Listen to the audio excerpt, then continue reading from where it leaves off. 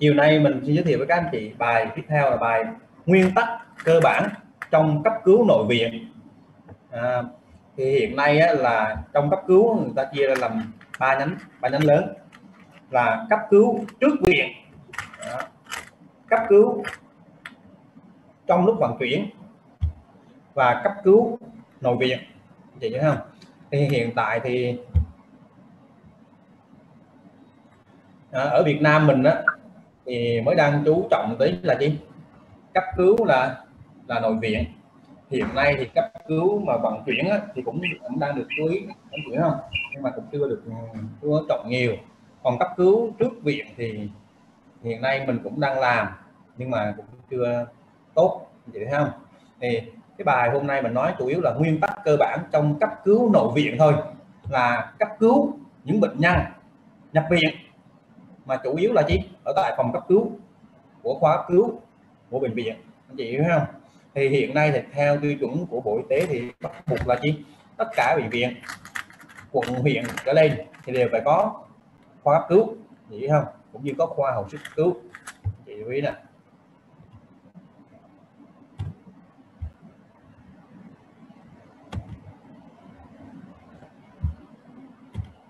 Thì nội dung bài giảng của mình là gồm có bốn phần phần thứ nhất là nói về khái niệm về cấp cứu thực trạng cấp cứu ở Việt Nam hiện nay cũng như là giải pháp cho cấp cứu Việt Nam hiện nay.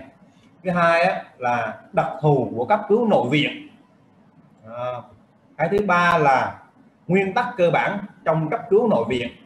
Vậy không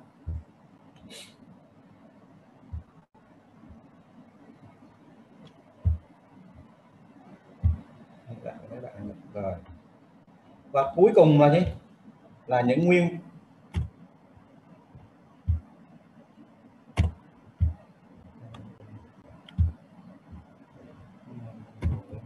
Và nguyên tắc tránh sai lầm trong cấp cứu nội viện. Thì hiện nay à, các anh chị chú ý là cái bài mà cấp cứu nội viện này nè. Chỉ duy nhất hình như là đại học y dược đà nẵng mình mới là học trong chương trình y ba thôi còn các anh chị có thể mở các giáo trình cấp cứu này, cũng như hồi sức cứu của đại học y hà nội, đại học y dược thành phố hồ chí minh, cũng như đại học y dược huế là chưa có bài cấp cứu nội viện. Anh chị chú ý không? Anh chị có thể tìm trên mạng cũng như là các ờ, chương trình giáo trình thì anh chị thấy là hiện tại là không có bài này.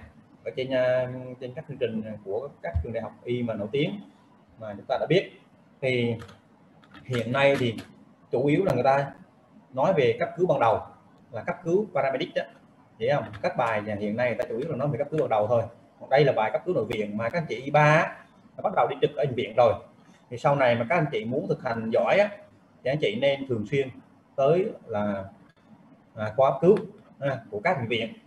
À, trong mùa dịch covid này thì, nó hơi à, vất vả các anh chị hơi khó khăn các anh chị thì việc nhận cấp cứu ở khoa cấp cứu. Nhưng mà sau này mà dịch qua anh chị nên thực tầm tập hoặc thực hành khám ở tại khoa cấp cứu để nâng cao kỹ năng nghề nghiệp của mình. Hiểu không? À, thì cái bài này nó nói về những vấn đề à, nguyên tắc cơ bản trong cấp cứu nội viện là tại bệnh viện nha chị phải hình dung ra nó là nó khác so với lại cấp cứu ở trước viện là cấp cứu ở nơi à, ngoài đường đó.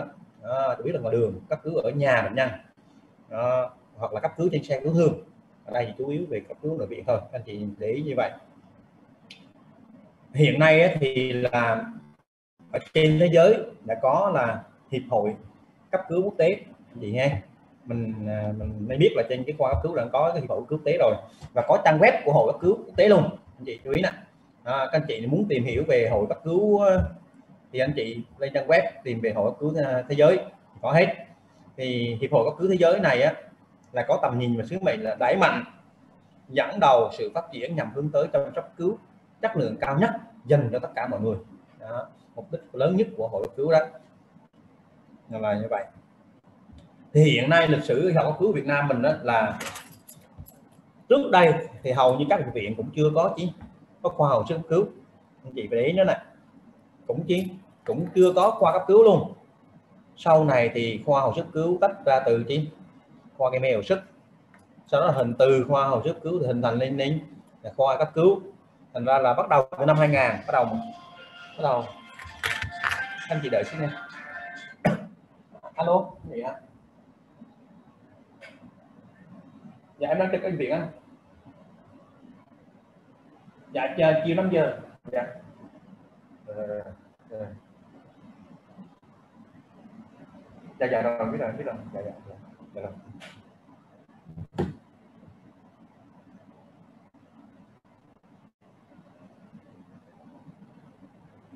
Thì là bắt đầu từ năm 2000 thì bắt đầu hình thành khoa cấp cứu. Ở hầu như các bệnh viện toàn quốc nhưng mà tỷ lệ bệnh nhân được vào khoa cấp cứu của các bệnh viện cũng là là thấp. Chỉ vì ờ, từ đến cửa năm 2000 thì mới có khoảng 26 phần trăm các bệnh viện trên toàn quốc là có khoa cấp cứu thôi. Vậy không?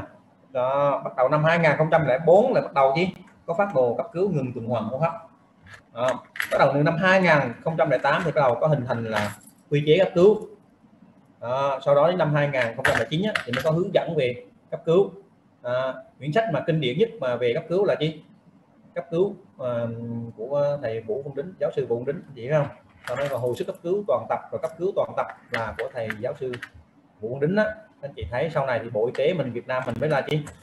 Các ban hành cái tiêu chuẩn thống nhất về cấp cứu. Thì hiện nay có một cái phát đồ mà mới nhất về cấp cứu thì là năm 2014 chị không? Cấp cứu nghe chị phải phân biệt là cấp cứu với hồi sức cấp cứu là khác nhau. Thì bắt đầu năm 2012 thì bắt đầu là hội hồi sức cấp cứu Việt Nam. Thì mới quyết định thành lập là phân hội cấp cứu Việt Nam. Thì là như vậy là bắt đầu hội cấp cứu Việt Nam là có phân hội thôi, chứ có hội nè. Phân hội cấp cứu Việt Nam trực thuộc là hội hồi sức cứu chống độc Việt Nam. Thì bắt đầu từ năm 2012 thì à, chủ tịch hiện nay của phân hội à, cấp cứu Việt Nam chính là phó sư tiến sĩ Nguyễn Đức Anh chị thấy mà tất cả cái quyển sách mà hồi sức cấp cứu hiện nay thì là thầy à, phó sư tiến sĩ Nguyễn Anh là, là, là chủ biên hết.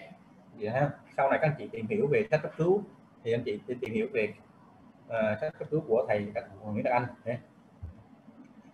À, trang web của phân hội cấp cứu Việt Nam là tôi xem đó thì anh chị thấy là trực thuộc hội hồi sức cấp cứu và chống độc Việt Nam. Anh chị coi là thấy rõ. À, các anh chị muốn tìm hiểu về vấn đề cấp cứu cũng như hội hội cấp cứu hoặc muốn tham gia thành viên của hội cấp cứu thành viên của chi của hội hồi sức cấp cứu chống độc Việt Nam. Trong thời gian mà thế hệ trước học y khoa là không có bài về cấp cứu cũng như không có bài về hồi sức cấp cứu anh chị nghe. Thế hệ y khoa học sau này là được bổ sung thêm phần là cấp cứu cũng như là hồi sức cấp cứu. Đó, anh chị mà này muốn tìm hiểu về cấp cứu thì trên trang web của phân hội cấp cứu Việt Nam. Lúc như thầy mới ra trường tìm sách về cấp cứu cũng như hồi sức cứu rất là ít. Vậy không hồi hồi mới ra trường tìm về sách cấp cứu để làm ở khoa cấp cứu về đặc thù của của bệnh viện Đà Nẵng mình á cũng như là một số bệnh viện lớn á, thì người ta là bác sĩ mà muốn về chuyên khoa thì ta phải đưa về khoa cứu trước. Đi mấy tháng sau đó chuyển về khoa hồi sức cứu mấy tháng. Sau đó là chuyển khoa hồi sức ngoại khoa mấy tháng sau đó mới mới phân biệt khoa. Vậy không như thầy là trước đây thầy phải đi hồi sức cứu mất 6 tháng. Đi cấp cứu mất 6 tháng đi hồi sức cấp cứu chống độc mấy tháng cũng như là đi à, khoa hồi sức ngoại khoa người ta gọi là sicu đó cũng mất năm rồi sau đó mới về khoa nội hô hấp miễn dịch dẫn nha anh chị mà nếu muốn tìm hiểu về kiến thức về cấp cứu thì mở trang web của phân hội cấp cứu ra. Và đây là những thành viên ban đầu của phân hội cấp cứu. Đây là thầy giữa đây thầy thầy à, Nguyễn Đạt Anh đây phó sư tiến sĩ Nguyễn Đạt Anh. À, tiến sĩ Vũ Vũ Huy Vũ Huy Vũ Huy của mùng năm Sài Gòn vậy không? À, thì hiện nay là chùa đây là trưởng à, thầy à, phó sư tiến sĩ Nguyễn Văn Chi hiện nay là trưởng khoa cấp cứu của A9 Bạch Mai Bạch Mai đó, đó, cũng như thầy ờ, tiến sĩ Đỗ Ngọc Sơn người là phó khoa cấp cứu của bệnh viện Mai. Thì là các thầy vừa rồi có vô chống dịch ở Đà Nẵng mình vậy không như vậy cấp cứu là gì? Cấp cứu thường được dùng để chỉ các tình trạng bệnh nội và ngoại khoa cần được đánh giá và điều trị ngay. Chị nha đây là những bệnh nội khoa ví dụ như bệnh nội khoa là tất cả các bệnh lý về thần kinh tim mạch hô hấp cũng như ngoại khoa và sản khoa tai mũi họng, mắt, răng hàm mặt. Hiểu không? Thì trong cấp cứu người ta chú ý nhất hai cái là nguy kịch và cấp cứu. Thì những bệnh nhân nguy kịch là những bệnh nhân có bệnh lý, có tổn thương mà rối loạn đe dọa tính mạng, có nguy cơ tử vong nhanh chóng nếu không được can thiệp cấp cứu ngay. Đây là bệnh nhân nguy kịch mình phải để ý vậy đó. Thứ hai, những bệnh nhân cấp cứu là bệnh nhân có bệnh lý, tổn thương rối loạn có thể tiến triển nặng lên nếu không được can thiệp điều trị nhanh chóng. À, bệnh nhân nguy kịch là thế nào? Thứ nhất những bệnh nhân này là bệnh nhân nguy kịch này. Đâm lũng tim. Đó là cấp cứu tối khẩn cấp. Dễ không? À, đâm lũng tim mà anh chị mà không cấp cứu này là đang chết ngắt liền. Rồi vết thương mạch máu đứt mạch cảnh rồi đó. Đó thì mình nếu mà không cấp cứu ngay là bệnh nhân nguy kịch và tử vong. À, thai ngồi tử cung. Đó thai ngồi tử cung vỡ đó thì mới, mới tính.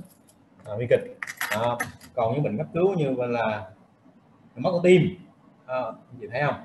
Cấp cứu máu tim mà anh chị không cấp cứu thì bệnh nhân sẽ nặng lên mà tử vong. À, còn giữa giữa nguy kịch với à, cấp cứu là nó, nó khác nhau chỗ là cấp cứu mà anh chưa làm thì có thể bệnh nặng lên nhưng nguy kịch là bệnh nhân mà anh không làm là chắc chắn bệnh nhân tử vong. Anh phải để ý đó là ví dụ bệnh nhân ngưng thở rồi là bệnh nhân nguy kịch mà anh chị không đặt nổi quản không cho bệnh nhân thở máy thì chắc chắn là là bệnh nhân sẽ tử vong. Đó, bệnh nhân bị khó thở thanh quản. Đó, mà anh chị không khai quản liền không đặt nổi quản thì bệnh nhân sẽ tử vong. Rồi như vậy là thực hành cấp cứu có nhiệm vụ đánh giá xử trí và điều trị các bệnh nhân có bệnh lý và tổn thương rối loạn cấp cứu. Hình dung như vậy. Thì các anh chị và khi mà quan tâm về vấn đề cấp cứu thì chúng ta cần phải biết là một số bệnh mà nó hay nhập cấp cứu mà là nguyên nhân tử vong hàng đầu trên thế giới thì có rất nhiều nguyên nhân. Tử vong hàng đầu trên thế giới mà ta thấy top lại là chi? Năm 2000 thì tử vong hàng đầu là bệnh tim thiếu máu cục bộ. Thì cho đến năm 2016 cũng như hiện nay, bệnh tim thiếu máu cục bộ vẫn là nguyên nhân tử vong hàng đầu. Tiếp theo thứ hai là cho dù 2000 cũng như 2016 thì đột quỵ vẫn là nguyên nhân hàng đầu. Vậy không? Trước đây thì nhiễm trùng đường hấp dưới là nguyên nhân tử vong hàng ba. Thì trừ là bệnh phổi tắc nghẽn mãn tính là nguyên nhân tử vong thứ ba à, thì là thấy thế nhau về hai vị trí sau đó đến bệnh tiêu chảy thì bệnh bệnh đi là Alzheimer tử vong gì thấy không đó, lao phổi trước đây năm 2000 là tử vong trừ là xếp xuống hơn lao hơn à, là cuối cùng cũng như là tai nạn giao thông anh chị thấy uh, tai nạn giao thông tử vong nhiều không anh chị thấy ngày nào có tai nạn giao thông hết nhưng mà tai nạn giao thông vẫn là năm 2000 đó là là là, là, là, là đấy. Nó đứng chót cho đến như vậy là mình phải cố ý là mình đọc mấy bài về đi. Khi mình cấp cứu là mình đọc những bài này những bài nguyên nhân tử vong hàng đầu á để mình biết là gì? Cấp cứu hay vô cái bệnh này. Gì phải để ý không? Đó những bệnh đái đường này đó bệnh viêm phế quản ung thư phổi mấy bệnh đó mình đọc cấp cứu bị hay nhập cấp cứu. Đó, đột quỵ. Đó bệnh nhân đột quỵ. Ví dụ như thành sau này mình học các bài nguyên lý cấp cứu này xong về bắt đầu mình muốn mà trở thành một bác sĩ cấp cứu giỏi là mình chi? Mình thấm hầu hết các bệnh cấp cứu của nội ngoại khoa. Chị thấy không? Ví dụ như là nội tim mạch có chi cấp cứu nội hấp có chi cấp cứu nội tiêu thần kinh có chi cấp cứu nội tiêu hóa có chi cấp cứu nha nội tiết niệu có chi cấp cứu. Rồi ngoại thì có bệnh chi cấp cứu như được viêm hay là chấn thương sọ não hay là tràn khí màng phổi đó mấy cái bệnh đó mình phải về mình nắm. Thành ra là anh chị mà cấp cứu giỏi là chi? Hầu như các bệnh nội ngoại khoa phải nắm hết đúng chưa? Đó, ví dụ như đó. Và hiện nay là cho đến năm 2030 người ta dự kiến là chi? Cũng là rất nhiều bệnh. Đó, nhưng mà tai nạn giao thông là cũng đứng hàng thứ ba chị nghe chị lưu ý. Thì trong cấp cứu thì ngoài viện thì chủ yếu là chi? Bệnh về chấn thương. Chị không? Chấn thương như tai nạn giao thông chấn thương đặc và các bệnh cấp cứu nội khoa. Chị không? Mà hiện nay người ta tập trung nhiều về chi? Cấp cứu chấn thương. Chị nghe không? Chủ yếu là chi? Tai nạn giao thông tai nạn sinh hoạt. Đây là những uh, cái cấp cứu thường gặp ở khoa cấp cứu vậy không? Đó, rất nhiều. Còn các bệnh nói nội khoa mình cũng hay gặp. Mình mình để ý. Đó. thì hiện nay xây dựng cấp cứu hệ thống cấp cứu người ta chú ý ba vấn đề. Thứ nhất là cấp cứu ngoại viện. Hiểu không? Cấp cứu ngoại viện đây là gì là sắp xếp người phản ứng. Là ví dụ như là ví dụ xảy ra một vụ tai nạn giao thông là có cảnh sát giao thông xuất hiện. Có những người gần đó được huấn luyện về cấp cứu người ngoài hô hấp cấp cứu ngoại viện hoặc là một đội chi cấp cứu một năm thở nhanh gì không? Đó. thứ hai là cấp cứu ngoại viện người ta chú ý đến vận chuyển bệnh nhân. Đó. Thì sau này là nếu mình học chuyên sâu về cấp cứu là có một bài là bài vận chuyển bệnh nhân cấp cứu ngoại ngoại viện. Đó paramedic đó. À, hoặc là cấp cứu ngoại viện là hay là còn gọi cấp cứu ban đầu. Và xe cứu thương có nhân viên. Chị như thế nào? À, các anh chị mở thành phố thì rất là thuận lợi chị thấy không? Thì hiện nay thì chúng mình thành phố Đà Nẵng là bốn góc, là có bốn trung tâm cứu.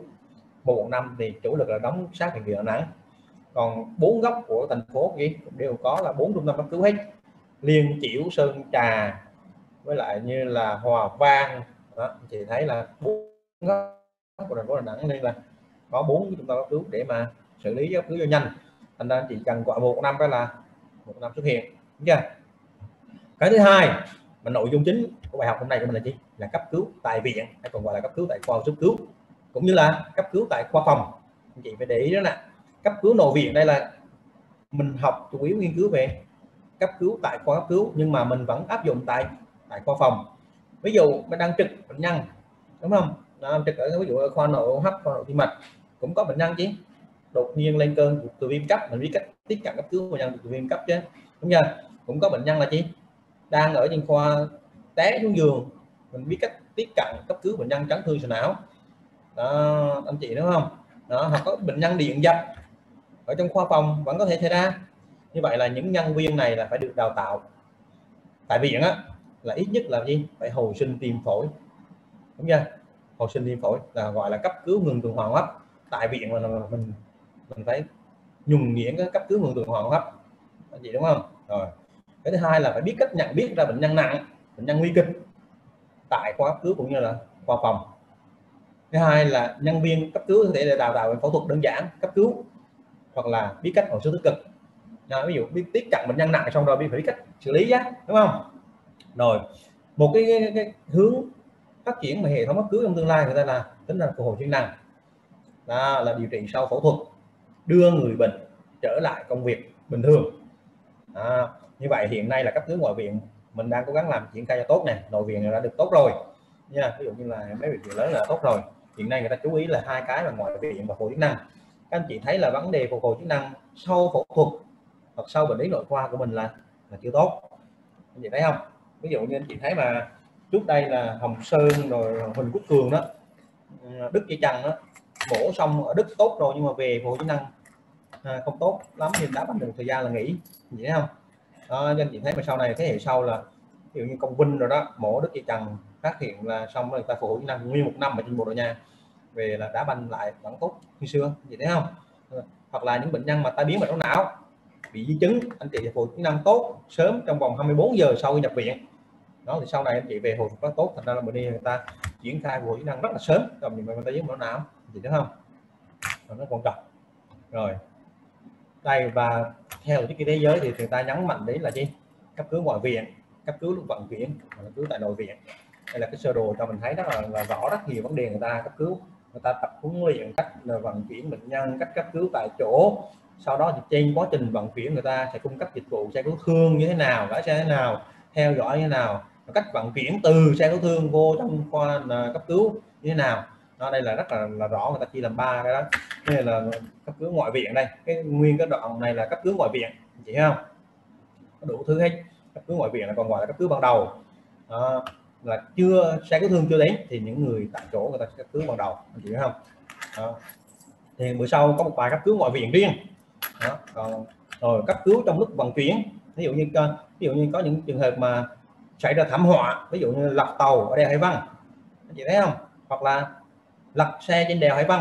Đó, vừa rồi có mấy ca, ca chở lật xe đèo Hải Vân đó, đó buổi trưa đó, đó là những nơi ví dụ đất xuống vực đấy thì phải có cách vận chuyển từ dưới vực lên nè rồi vận chuyển xe cấp cứu từ Hải Vân lên về bệnh viện Đà Nẵng nè, ví dụ cấp cứu xong cái cô sinh viên cô rớt mấy cái tay trên cành đi cả đội cấp cứu đi tìm hết.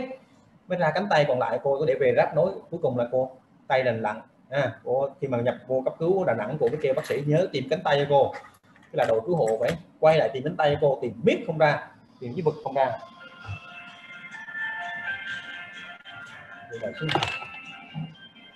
Dạ alo đang hả dạ dạ.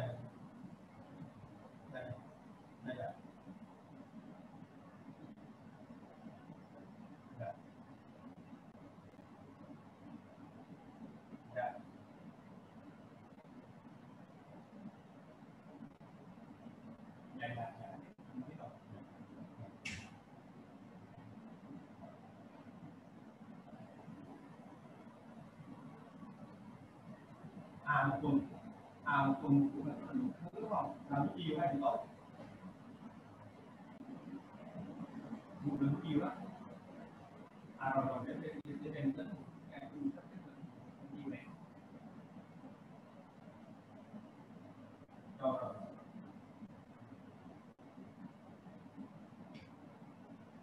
Rồi. Dạ rồi rồi.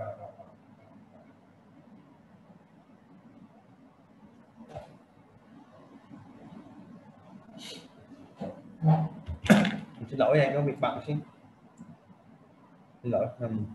rồi tiếp theo các anh chị nghe rõ không? Các anh chị nghe có rõ không? Rồi tiếp theo thì à, theo chuẩn của tổ chức y tế thế giới á, thì mà chăm sóc cấp cứu chuẩn á, gồm có là phải hệ thống tổ chức chăm sóc cấp cứu phải chuẩn.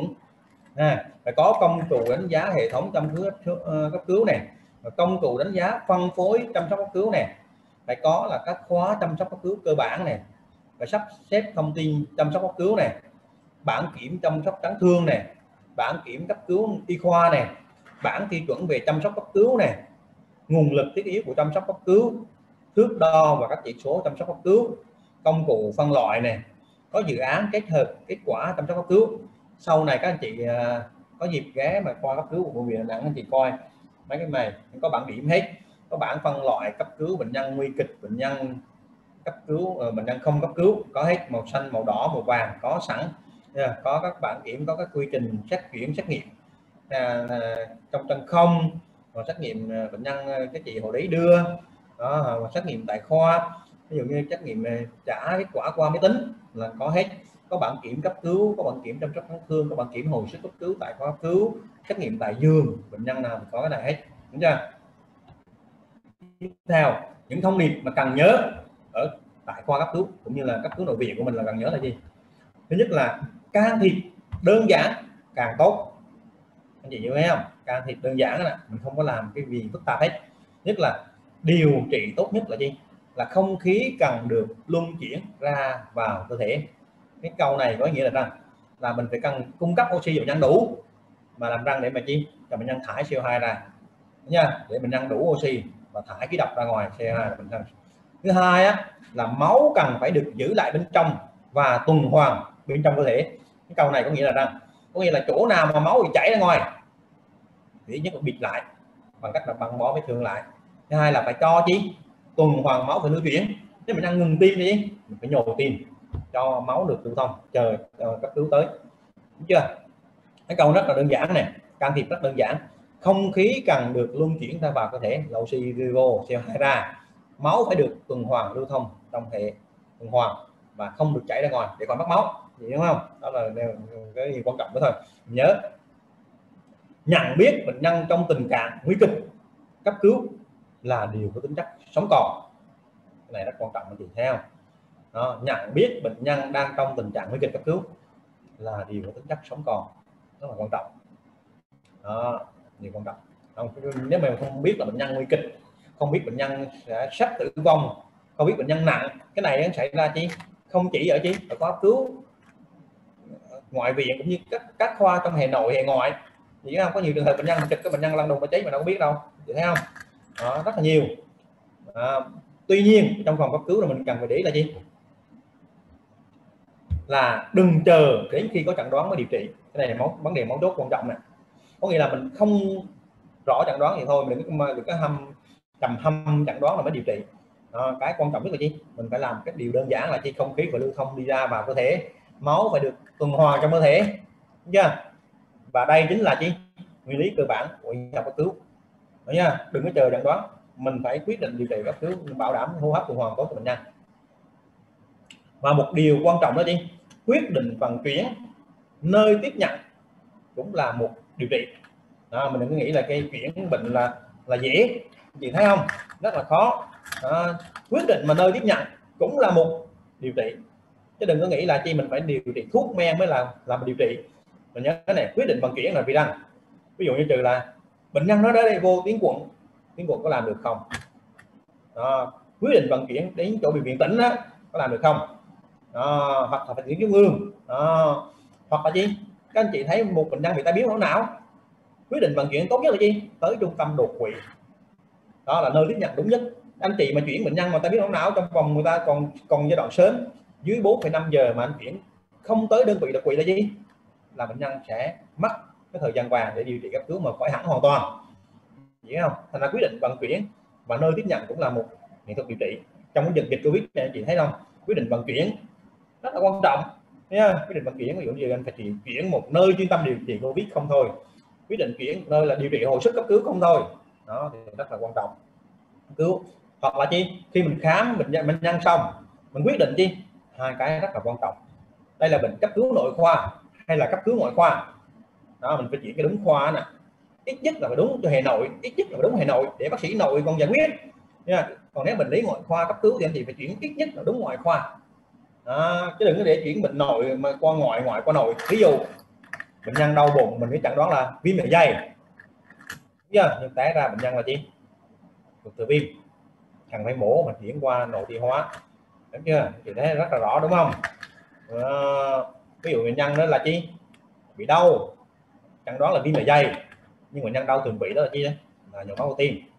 Đó thành ra quyết định để tiếp nhận. Quyết định chẩn đoán là rất là quan trọng và những can thiệp đơn giản có thể tạo ra sự khác biệt đáng kể nếu được thực hiện đúng lúc. Đó, anh chị ví dụ như mình nâng cầm bệnh nhân cho bệnh nhân nằm nghiêng qua một bên thôi. Quyết định cho bệnh nhân thở oxy ngay lập tức. Quyết định đặt nội quản ngay lập tức. Nếu bệnh nhân khó thở, không thở nổi, thở gắng sức quá, quyết định đặt nội quản cấp cứu thì sẽ tạo ra sự khác biệt. Nếu mình cần chờ cần chờ đặt nội quản bệnh nhân ngưng thở mất nha đó, hoặc là mình quyết định hồi sức tim, tuần hoàn tim phổi trễ quá đúng chưa? À, mình cứ lo bắt mạch coi lo huyết áp không có coi thì mạch bệnh nhân còn không coi thì bệnh nhân còn thở không coi bệnh nhân có là huyết áp không. Mình làm thấy mấy thủ tục là bệnh nhân mất 5 phút rồi. Và cuối cùng bệnh nhân mất thời gian vàng 5 phút là bệnh nhân có sống cũng thực vật. Gì phải không? Như vậy là mình quyết định là gì? Can thiệp đơn giản thôi để tạo ra sự khác biệt. À, thời gian là vàng cấp cứu là quan trọng lắm. Nên là mình phải làm nên thiệt nhiều. Nhỏ nhận bệnh bệnh bệnh ví dụ như đọc sách nhiều vô bệnh nội khoa, ngoại khoa. Đó, để mình biết là có nhìn tổng quát. Sau này các anh chị có thể đi là chuyên khoa, đúng chưa? Nhưng mà mình phải để ý là mình phải nắm, hầu như bệnh, ít nhất là mình nắm cái nguyên lý chẩn đoán cái bệnh. Nội, ngoại, sản nhi mình phải nắm nguyên lý chẩn đoán bệnh này, để mình khỏi bỏ sót bệnh. Ví dụ như sau này mình đi mình làm ở khoa, mình không nhớ đi cái bệnh cấp cứu. Anh chị thấy mình lúc mình đi học sinh viên thì mình nhớ tất cả những bệnh. Nhưng sau này khoảng năm 10 năm sau anh làm một cái chuyên khoa không thôi ví dụ làm chuyên khoa sản không thôi. Lỡ bệnh nhân nhồi máu tim nó vô nhập trong khoa sản mình đâu biết. Đó mình lâu ngày mình quên mất, hắn trên đời này có bệnh là nhồi máu tim. Ví dụ như đó là những cái mình học mình quên mất là trên đời này có bệnh chi theo mấy quản. Đó, anh chị thấy không? Ví dụ mình làm ở khoa mà không liên quan đến hệ nội mình quên mất.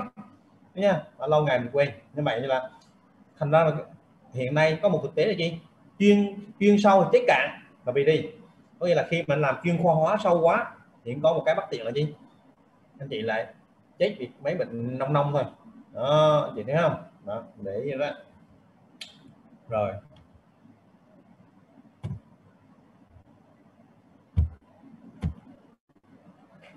Như vậy là nhiệm vụ của một bác sĩ cấp cứu là gì? Nhiệm vụ của một bác sĩ cấp cứu là cải thiện cái cục cuối cùng của bệnh nhân. Này rất là quan trọng này. À, mình phải nhớ là gì bác sĩ cấp cứu là cải thiện cái cục cuối cùng của bệnh nhân. Ví dụ như là chậm đưa bệnh nhân vào cấp cứu sẽ tăng tỷ lệ tử vong tăng tỷ lệ bệnh tật và nguy cơ biến chứng khi bệnh cấp tính nghiêm trọng. À, còn chậm đưa bệnh nhân ra khỏi cấp cứu thì sẽ góp phần quá tải tăng bệnh nhân không phù hợp tăng mệt mỏi tăng chi phí cho cấp cứu. Như vậy là nhiệm vụ bác sĩ cấp cứu là phải đưa lại đưa bệnh nhân vào cấp cứu nhanh và đưa bệnh nhân ra khỏi cấp cứu thật nhanh. Thật nhanh không phải là mình điều trị phải triệt để phải qua khỏi giai đoạn nguy kịch để bệnh nhân ra để điều trị ở phòng thường gì không? Đó hai nhiệm vụ quan trọng của bác sĩ cấp cứu là như vậy. Như vậy là thực trạng hệ thống cấp cứu của Việt Nam mình là như thế nào? Nhiều bệnh viện hiện nay đến thời điểm hiện nay chỉ có khoa hồi sức tích cực mà chưa thành lập khoa cấp cứu. À, à, rất nhiều bệnh viện là chưa có khoa cấp cứu. Anh chị ha thứ hai là cấp cứu là công việc của phòng khám ICU và khoa ngoại. Đó, rất nhiều bệnh viện là quan điểm là cấp cứu là công việc của phòng khám và của ICU và khoa ngoại thôi. Đó hiện nay và hiện nay là không có mặt bác sĩ cấp cứu để đánh giá ổn định bệnh nhân. Đó. nếu mà anh chị mà cử bác sĩ mà chi, hệ nội, hệ ngoại, không có kêu cấp cứu, mà đi cấp cứu bệnh nhân bị thảm họa, ví dụ như là động đất, sóng thần, tai nạn giao thông, cháy nhà, thì là sẽ không tốt bằng một bác sĩ cấp cứu được đào tạo chính quy. Hiểu không? Rồi. Thứ hai là hệ thống cấp cứu trước viện thì đáp ứng được 30 trăm nhu cầu, nhất là thành phố lớn, như là Hà Nội, Sài Gòn, Đà Nẵng rồi đó. Cấp cứu một năm thì khi Kim gọi cấp cứu một năm có chi nhưng mà mới chỉ đáp ứng được 30 trăm nhu cầu. Bởi vì là thứ nhất là hệ thống cấp cứu chưa đủ thiếu bác sĩ. Thứ hai là ở thành phố lớn là chi kẹt xe. Anh chị không? Vấn đề rất là quan trọng ở chỗ là nhiều khi anh chị gọi cấp cứu một năm mà bệnh nhân chết rồi mà xe cứu tới nơi. Đó, ở thành phố lớn vẫn vẫn bị. Hoặc là chi chở bệnh nhân được đi xe cứu rồi nhưng mà không đi được bị tắt đường. Anh chị mà sau này các anh chị có gì vô Sài Gòn cũng như đi Hà Nội anh chị thấy là kẹt xe là vấn đề rất là lớn ở trong thành phố Hồ Chí Minh và Hà Nội Hà Nội. Cấp cứu một năm cũng không chạy được nghe hiểu không? Rồi và hiện nay là chưa có gì chính sách hỗ trợ chuyên ngành mới. Chuyên ngành mới là chuyên ngành cấp cứu đó. Hiện nay thì mới một số à, à, trường đại học y là đào tạo bác sĩ chuyên khoa một cấp cứu. Anh chị thấy không? Bác sĩ uh, cấp cứu sơ bộ là có mới mới mới gần đây chị không? Đó, thì mới có. Đó. thứ hai là chưa có một hệ thống cấp cứu ngoại viện chuẩn ở Việt Nam chị không? Mà chuẩn là à, anh chị thấy là anh chị thấy mà à, cấp cứu chuẩn ở ở ở trên thế giới mà cấp cứu ngoại viện đó người ta có thể dùng là máy bay này anh chị thấy không? Ví dụ có máy bay xe cấp cứu à, trực thăng rồi đó thì có có còn ở Việt Nam mình là chủ yếu là xe cấp cứu thôi. Có nhiều nơi là không có xe cấp cứu thì người dân từ chở tới bằng xe máy ví dụ như tông xe cái chưa kịp chở xe cấp cứu tới là chi? Chở xe máy tới ờ, cuối cùng là không được bó không được cố định xương nha chấn thương cuộc sống đấy mang bệnh nhân vô thẳng luôn không kịp cố định cổ ví dụ như vậy vậy là thứ hai một thật trạng đó chứ mỗi bệnh viện có một protocol cấp cứu riêng và không có chương trình chuẩn. Nha trước đây là như vậy mà hiện nay cũng là như vậy. Đó, đó là thực trạng. Thì giải pháp cho hệ thống cấp cứu Việt Nam mình là gồm có biên soạn các hướng dẫn. Thì hiện nay thì một nội khoa thì giao cho bệnh viện Mai thấy không? Chấn thương cho bệnh viện Đức cấp cứu ban đầu trung tâm cấp cứu một năm bệnh viện Sinh Phôn sau đó Bộ Y tế chuẩn hóa triển khai toàn quốc. Và hiện nay là Bộ Y tế đã ban hành chuẩn hóa điều, uh, cấp cứu rồi. Và chuẩn hóa đào tạo y học cấp cứu trong các trường đại học y. Anh chị ta thành ra mình đây hôm nay là các chị học bài cấp cứu là khởi đầu của chương trình nha và đưa cấp cứu chấn thương vào nhiệm vụ của khoa cứu trên toàn quốc nha. Thì cấp cứu là gồm có cấp cứu bệnh nội khoa và cấp cứu chấn thương. Đó. thì hiện nay người ta cố gắng là triển khai cấp cứu chấn thương bởi vì cấp cứu chấn thương hiện nay còn tồn tại rất nhiều vấn đề là chi? Phát hiện con bệnh không còn gì, anh chị không? Ví dụ như là bệnh nhân tai nạn không có thể vỡ đầu vỡ gan vỡ rách vỡ thận. Đó, rất nhiều uh, chấn thương chứ không phải là một một tạng đúng không? Gãy xương. Đó. ví dụ mình nhân đa chấn thương á cái quyết định cấp cứu rất là quan trọng.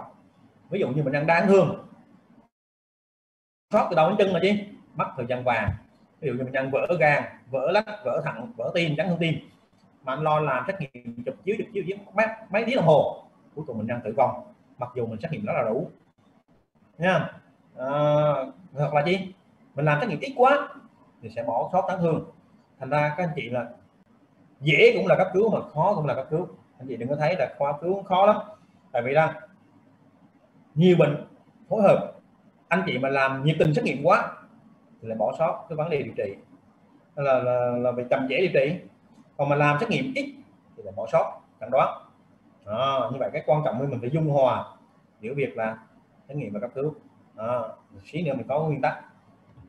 Rồi hiện nay thì các ờ, hội cấp cứu của từng chuyên khoa cũng ra từng guideline ví dụ cấp cứu tim mạch có hội tim mạch ờ, châu Âu tim mạch Hoa Kỳ cấp cứu.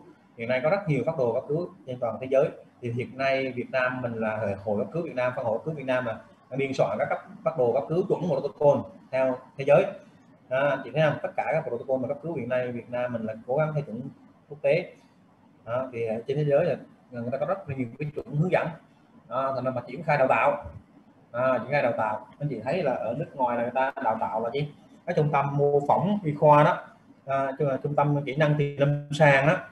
Đó cũng như là ở trong nước mình là các đại, các, các, các trường đại học y quốc tế như hồng bàng hoặc là Ờ, rất rồi đó. Unilever thì có cái hệ thống đào tạo kỹ năng lâm sàng luôn. Nó chỉ đã trang bị một xe cấp cứu luôn. Nó cấp cứu mô hình. Chị thấy không? Cấp cứu mô hình này tiếp. Còn mình là chi? Ở nước ngoài người ta chủ yếu là học trên mô hình chị thấy không? Đụng người bệnh rất khó chị không? Đó, còn ở Việt Nam mình là học bệnh nhân rất là thật đúng không? Rồi. Rồi mình qua phần nội dung thứ hai. Là đặc điểm chuyên biệt của cấp cứu.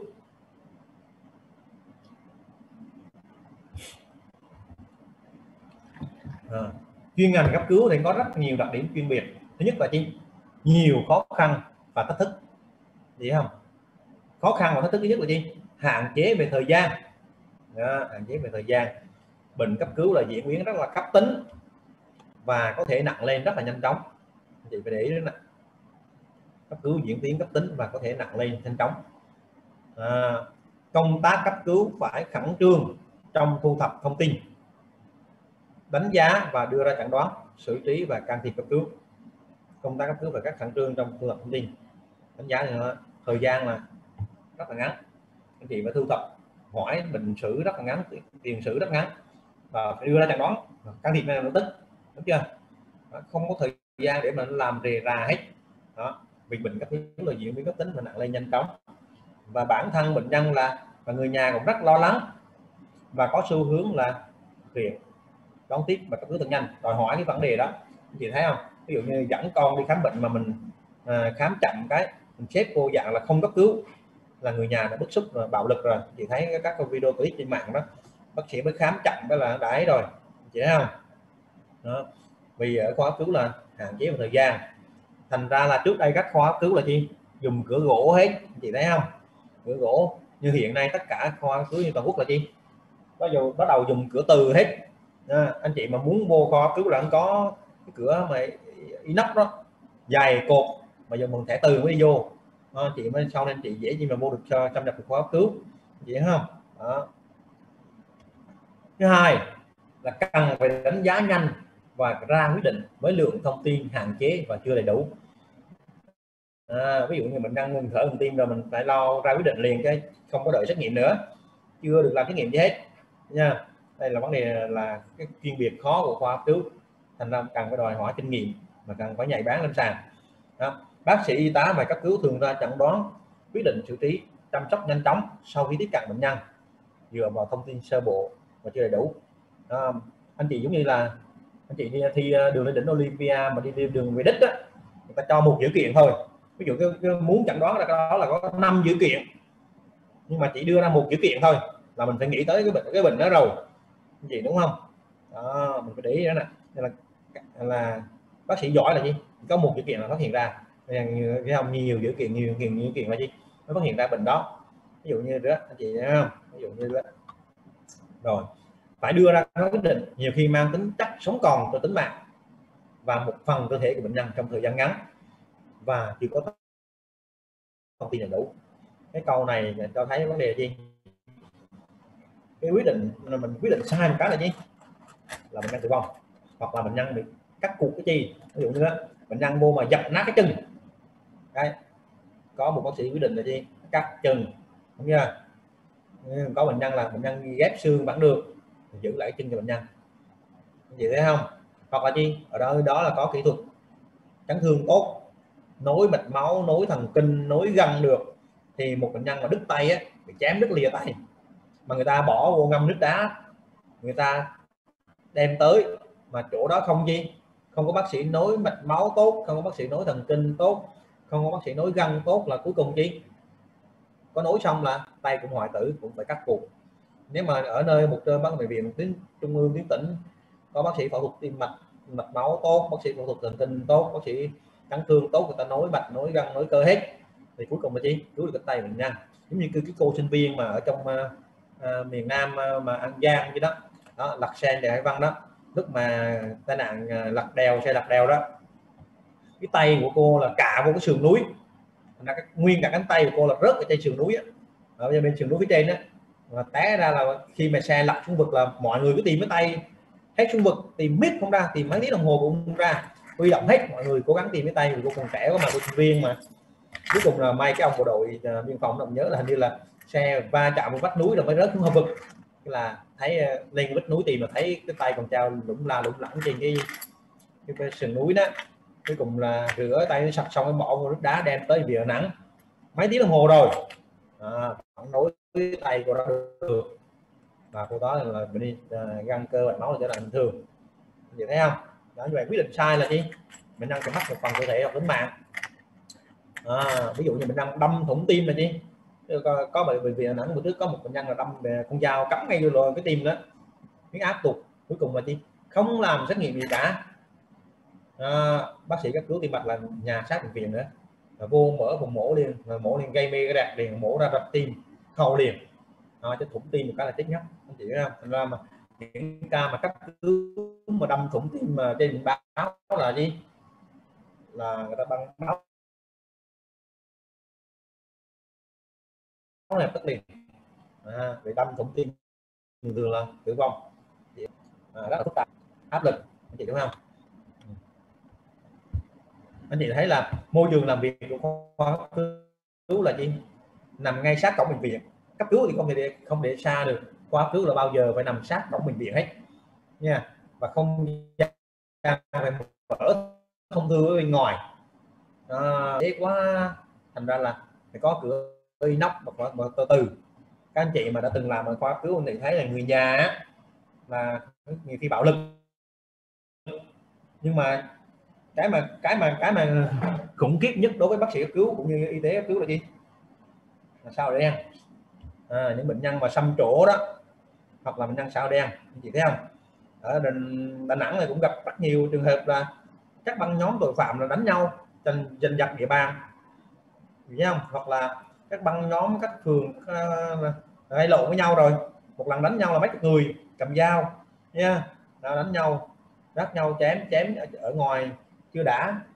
Xong đó là vô bệnh viện. Đó. buổi trước là chi? Ở khóa cứu bệnh viện Đà Nẵng là có bệnh nhân đánh nhau xong rồi vô nằm chỗ khóa cứu. Là mấy cái băng nhóm đi tìm cái cái ông mà bị đánh nhau mà đi bố cứu bệnh viện đó. Các chị đợi trước nha. À, alo.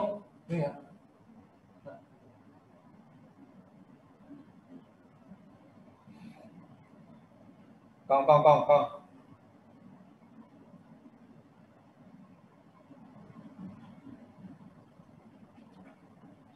Rồi rồi rồi. Cứ từ nó hai chiều chiều ấy chiều 5 giờ được không? Ở nhà ở nhà hoặc là à, hoặc là cầu trong hà chứ đang chạy đó đưa cho. Rồi. Không không chuyện nó cái, cái bệnh viện rồi. Là 5 giờ mới về nhà. 5 giờ năm rưỡi mới về nhà à.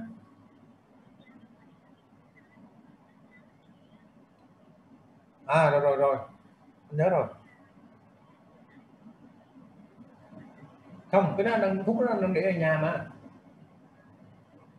À. hay là mai lấy được không? Mai lấy. À mai mai đây là mình ấy rồi.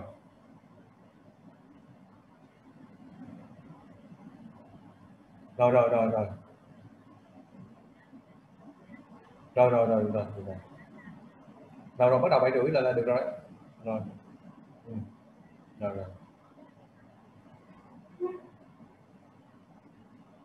À, rồi rồi rồi. Rồi rồi thoại ấy. rồi rồi mai nhớ mai nhớ mai nhớ. Rồi rồi. Rồi rồi biết rồi. Uống, uống thuốc đi vô rồi thì hiệu quả liền. Thuốc táo bón hiệu quả liền.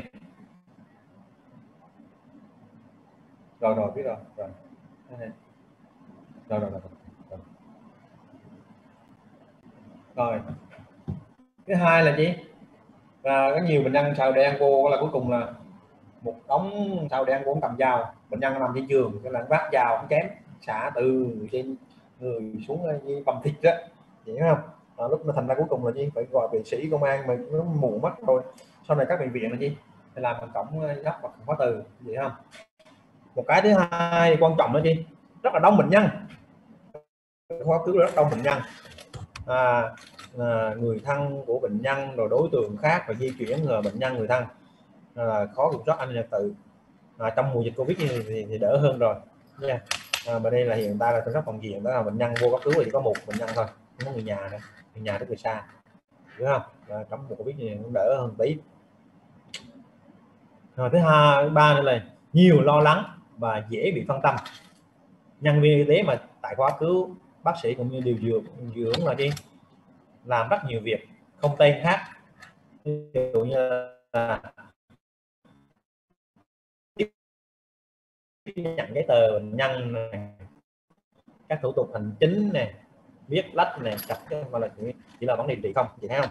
Rồi áp lực công việc à, rất là công việc rất nhiều. Ví dụ như có trường hợp là cấp cứu mà thảm họa đó cấp cứu tai nạn cấp cứu cháy nhà cấp cứu ngộ độc thực phẩm hoặc là mấy năm bệnh đó. Nha hoặc là bệnh nhân và người thân bệnh nhân rất là áp lực. Ờ, à, ai vô cấp cứu cũng đòi gì phải khám lập tức cho họ. Nha không họ. Mà ờ, ngành y tế mình là phân biệt ra là gì cấp cứu nguy kịch cấp cứu khẩn cấp không cấp cứu. À, nhưng mà ở nhà, mà ở Việt Nam mình là gì cái vấn đề mà người nhà với bệnh nhân là áp lực lắm. Vậy không? Đó. Rồi ra nhân viên y tế gặp rất nhiều khó khăn trong đảm bảo quy trình tiêu chí cứu.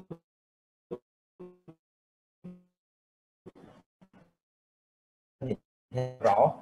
À, anh chị thấy là um, kể là chi? Ở bên nước Anh là chi? Cắm ngực đó nhưng mà không có con có cứu vẫn ngồi chờ để bác sĩ tới khám. Chứ còn ở Việt Nam mình mà nói trường hợp mà dao cắm vô mắt mà, mà, mà bác sĩ không cấp cứu là chi? Lên báo liền. Chị thấy không? Đó, ở cấp cứu ở nước ngoài có tiêu chí rõ ràng mà mọi người phải tuân thủ. Chị không? Thứ hai là nhân viên y tế có nguy cơ bị đe dọa về tinh thần bạo lực từ các bệnh nhân bị kích động. Không? Đó, ví dụ như bệnh nhân nó uống rượu say xỉn đó, hoặc là mấy người mà hung hãn rồi đó hoặc là người, gia đình hoặc là người thân. Chị thấy không? Có một cháu bé đi khám uh, mắt đó. Uh, bác sĩ đang khám thì là là người nhà đánh bác sĩ. À, ví dụ như đó à, rất là nhiều trường hợp để cấp cứu là rất nhiều trường hợp là bệnh nhân kích động gây bạo lực. Có khi à, phá toàn hoàn khoa cấp cứu. Gì thế không? Mặc dù là lỗi như vậy là là, là cứu là gì? Khi báo như đứa là gì? Ờ, nhân viên y tế chạy hết. Thế không? Sau này thì các khoa cấp cứu là có bác sĩ có vệ sĩ rồi có công an đứng gác hoặc là người ta làm cửa cửa cửa inox. Muốn xâm nhập vô cũng được. Khóa từ nhá và cái chuyên biệt của khoa cứu là có thể không cần quan tâm đến chẩn đoán.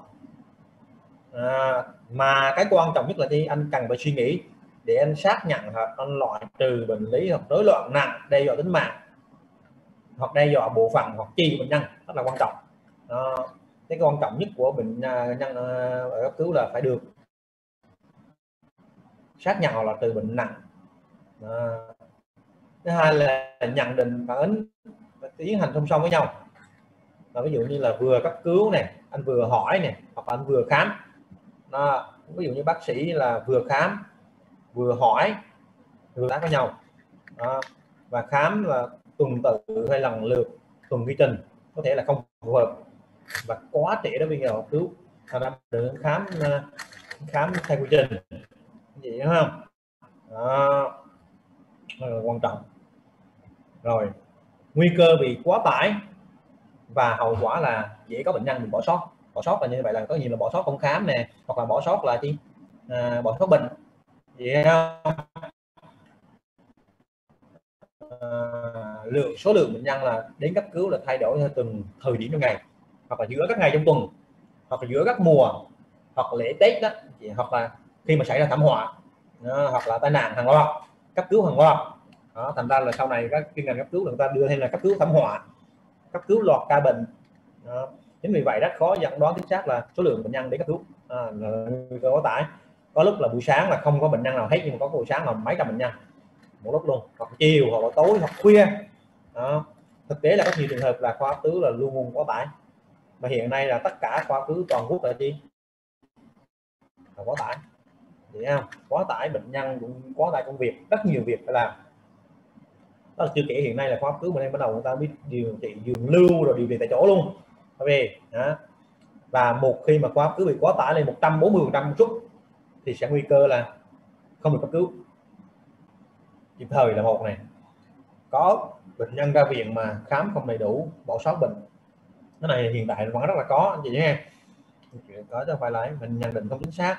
Hoặc là chi hiện nay có một thực tế là chi là khoa cấp cứu á, thì rất nhiều bác sĩ trẻ. Không? Đó, hiện nay mà ban đầu đi về là bác sĩ bác sĩ trẻ thì mà ra khoa cấp cứu là một số ờ, ít bác sĩ lớn tuổi thôi. Còn chủ yếu bác sĩ trẻ ban đầu hết. À, tập huấn tại khoa cấp cứu thành ra nhiều trường hợp rất là bỏ sót. Bệnh nhân nặng bỏ sót bệnh không được cấp cứu kịp thời. Đó rất là quan trọng à, thành ra là sau này là gì? Mình phải quan điểm là cấp cứu là phải bác sĩ giỏi nhất. Bởi vì đó thời gian ngắn mà phải xử lý đúng chính xác. Đây là một cái cấp cứu khám tẩm hỏa cứ hàng loạt. Các anh chị thấy là ví dụ như động đất ở Nepal à, năm 2015 9.000 người chết 22.000 người bình thường là cấp cứu thảm họa là cấp cứu thì phải vỡ trận thôi. Phải cấp cứu phải huy động cả toàn quốc mới cấp cứu được mấy trường hợp này. Vậy đấy không? Cấp cứu huy động toàn quốc. Hoặc là năm 2018 ở thành phố Hồ Chí Minh nó cháy chung cư Carina các chị đều biết hết rồi. Có 13 ngàn 13 người chết. Nhảy từ lầu cũng chết ngạt khói chết cháy đen chết. Và 91 người bị thương. Khi mà cháy nhà là gì? Khói độc nên làm cho mình ngạt thở. Gì đúng không? Đó, mình đang chết vì hít khói độc. À, quan trọng hoặc là chi? Vụ khủng bố à, ở tòa tháp đôi của New York của Mỹ năm ngày 1 9 năm 2000 là 2.996 người chết. Có nghĩa là tòa tháp đôi nó sụp đổ đó.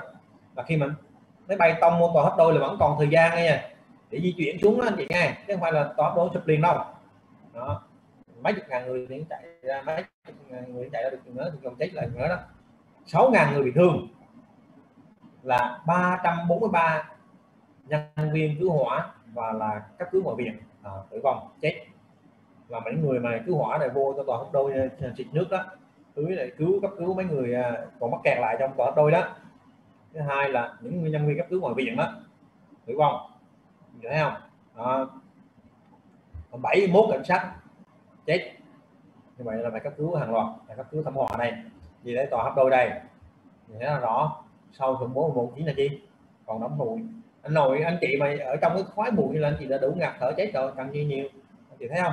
Thế là rõ. À, chưa kể là cháy rồi sụp đổ đè rồi ờ, chỉ cần nằm trong cái khói bụi như không tiếng đồng hồ không thở được là chết rồi bây thấy không? Đó, là số người chết là tử vong rất là cao. Nội ờ, cấp cứu 6 ngàn người bị thương là cũng vậy cho này thấy không? Đó, cấp cứu toàn quốc và quá tải ở khoa cấp cứu làm tăng tỷ lệ tử vong đây là một nghiên cứu năm 2016 ở Australia nhận thấy là ví dụ như bệnh viện mà không quá tải thì tỷ lệ người bệnh là tốt hơn là bệnh viện quá tải. Đó điều đương nhiên vậy thấy không? Đó là đương nhiên là được thấy. Và tính ưu tiên cấp cứu à, đặc điểm quan trọng đó là ưu tiên cấp cứu giữa các bệnh nhân giữa các động tác giữa các can thiệp và giữa các chăm sóc à, cấp cứu là phải ưu tiên giữa bệnh nhân ví dụ có bệnh nhân nặng nguy kịch về cấp cứu và bệnh nhân không cứu là khác. Đúng chưa? Chính vì vậy là khoa cấp cứu phải triển khai quy trình phân loại bệnh nhân. Và nhân viên cấp cứu là phải rèn luyện kỹ năng phân loại bệnh nhân. Nó thành ra bác sĩ cấp cứu mình là sau này mà chuyển ờ, học tập ở khoa cứu là phải chú ý quy trình phân loại bệnh nhân, phân loại chính xác.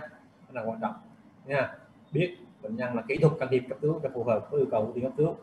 Nha đó là quan trọng. Phản ứng xử lý cấp cứu là theo ưu tiên chứ không phải là quen là khám trước gì nữa không? Đó. bệnh nhân cần cấp cứu hơn thì phải khám trước. Đó là món tốt này à, can thiệp nào cấp cứu hơn thì ưu tiên trước. Chị thấy không? Ví dụ bệnh nhân nó cần ngưng thở rồi thì cái cấp cứu hồi sức hoàn là ưu tiên là phải đặt nội quản là ưu tiên. Đâu phải truyền dịch. Không là ưu tiên truyền dịch không phải ưu tiên. Nha phải đặt nội quản như được để bảo đảm đường thở tốt và sau đó mới xoa bóp tim ngoài lồng ngực sau đó mới à, truyền dịch mới từ huyết áp à, can thiệp ưu tiên. Đó. Và phải đảm bảo bệnh nhân được tiếp cận cấp cứu kịp thời tương ứng với tình trạng và yêu cầu cứu bệnh nhân. Đây là vấn đề món món tố rất quan trọng trong ưu tiên. Là ưu tiên bệnh nhân cấp cứu trước, ưu tiên cấp cứu can thiệp trước. Đó là quan trọng. Thứ hai là phải tiếp cận và sắp xếp giải quyết khi bệnh nhân tử vong ở cấp cứu là gì? Có nhiều bệnh nhân tử vong ngoài viện. Thành ra là nhân viên y tế thường xuyên phải tiếp nhận cấp cứu và giải quyết các trường hợp liên quan đến tử vong. Nha. Khi có bệnh nhân tử vong mà thì bác sĩ cấp cứu phải giải quyết này và xác nhận tử vong. Đó là quan trọng này xác định nguyên nhân tử vong này xác định, xác nhận bệnh nhân tử vong này xác định nguyên nhân tử vong để thông báo cho gia đình nhé. Là chuẩn bị tâm lý cho người thân của bệnh nhân tử vong. Anh chị không? Và giải thích cho họ là vì sao ông tử vong. Nghĩa là ví dụ như những tai nạn mà mà giao thông thì anh chị dễ giải thích. Ví dụ như mấy bệnh nhân mà cán qua đầu, cán qua thân quán qua hông rồi đó tử vong đột ngột thì gia đình họ biết là tử vong là do tai nạn không mà rất là rõ. Có trường hợp bệnh nhân là chi đang ngồi đó, đột quỵ xuống cái suy não, vỡ mạch máu não, nhồi máu cơ tim. Thì người đang họ không biết bị đang mà chết. Đề nghị bác sĩ thích cho bệnh nhân biết là bị đang đang chết. Nha bị tâm lý cho người thân. Người vòng. Đó. hoặc là sau khi mà cấp cứu mà mình đang tử vong rồi là bác sĩ phải trả lời câu hỏi là, tại sao mình đang tử vong? Bệnh nhân tử vong có nguy cơ là gây cho cho người khác không cho nhân viên y tế cho gia đình cho người thân không? Ở trong mùa dịch covid này nè thì thấy rất là rõ đúng không bệnh nhân tử vong nó mình phải quay lại thể tử vong cho covid không? Nên rất là quan trọng. Đó, ví dụ giả sử mình xác nhận bệnh nhân mà tử vong mà do covid một cái là gì? Là bệnh nhân phải đi hỏa táng. À, gia đình bệnh nhân là phải cách ly. Nha chị thấy không? Trong mùa covid cho nên chị thấy rõ vấn đề mà mà cái hậu hậu của bệnh nhân tử vong là bác sĩ cứu giải thích ví dụ như vô cấp cứu phát rồi giải thoát xong rồi xét nghiệm covid dương tính cả là gì bệnh nhân là không được chôn và đi hỏa táng. Chờ hết dịch mới là làm lễ đám tang, nha, còn không được đám tang. Đó. còn nếu mà mình xác định bệnh nhân tử vong mà không phải do covid thì gì người nhà cái đám tang bình thường, đúng chưa? Đó, mà cách ly giãn cách xã hội thôi. Đó. còn nếu mà đám covid là gì? Hỏa táng người thấy không? Rất là rõ. Rồi, nguyên tắc cơ bản trong cấp cứu, đây là nội dung trọng tâm của bài ngày hôm nay gì thấy không? Đó, nguyên tắc cơ bản trong cấp cứu. Thứ nhất là chi? Bác sĩ cấp cứu và y tá cấp cứu đang trong ca làm việc cần bảo đảm quan sát cả bệnh phòng khu vực và tất cả bệnh nhân mình phụ trách. Hiểu thấy không? Đó, anh chị này nhân viên y tế phải rèn luyện kỹ năng quan sát nhanh tổ chức làm việc hợp lý và biết phân phối sức lực để đảm bảo cả trực. Là điều nguyên tắc cơ bản đầu tiên thì về vấn đề mà theo dõi bệnh nhân á, thì hiện nay thì chi, các phòng cấp cứu mà chỗ mà bệnh vùng đỏ là vùng ờ, phòng khu vực bệnh nhân nặng á, là họ phân vùng ra khu vực hồi sức.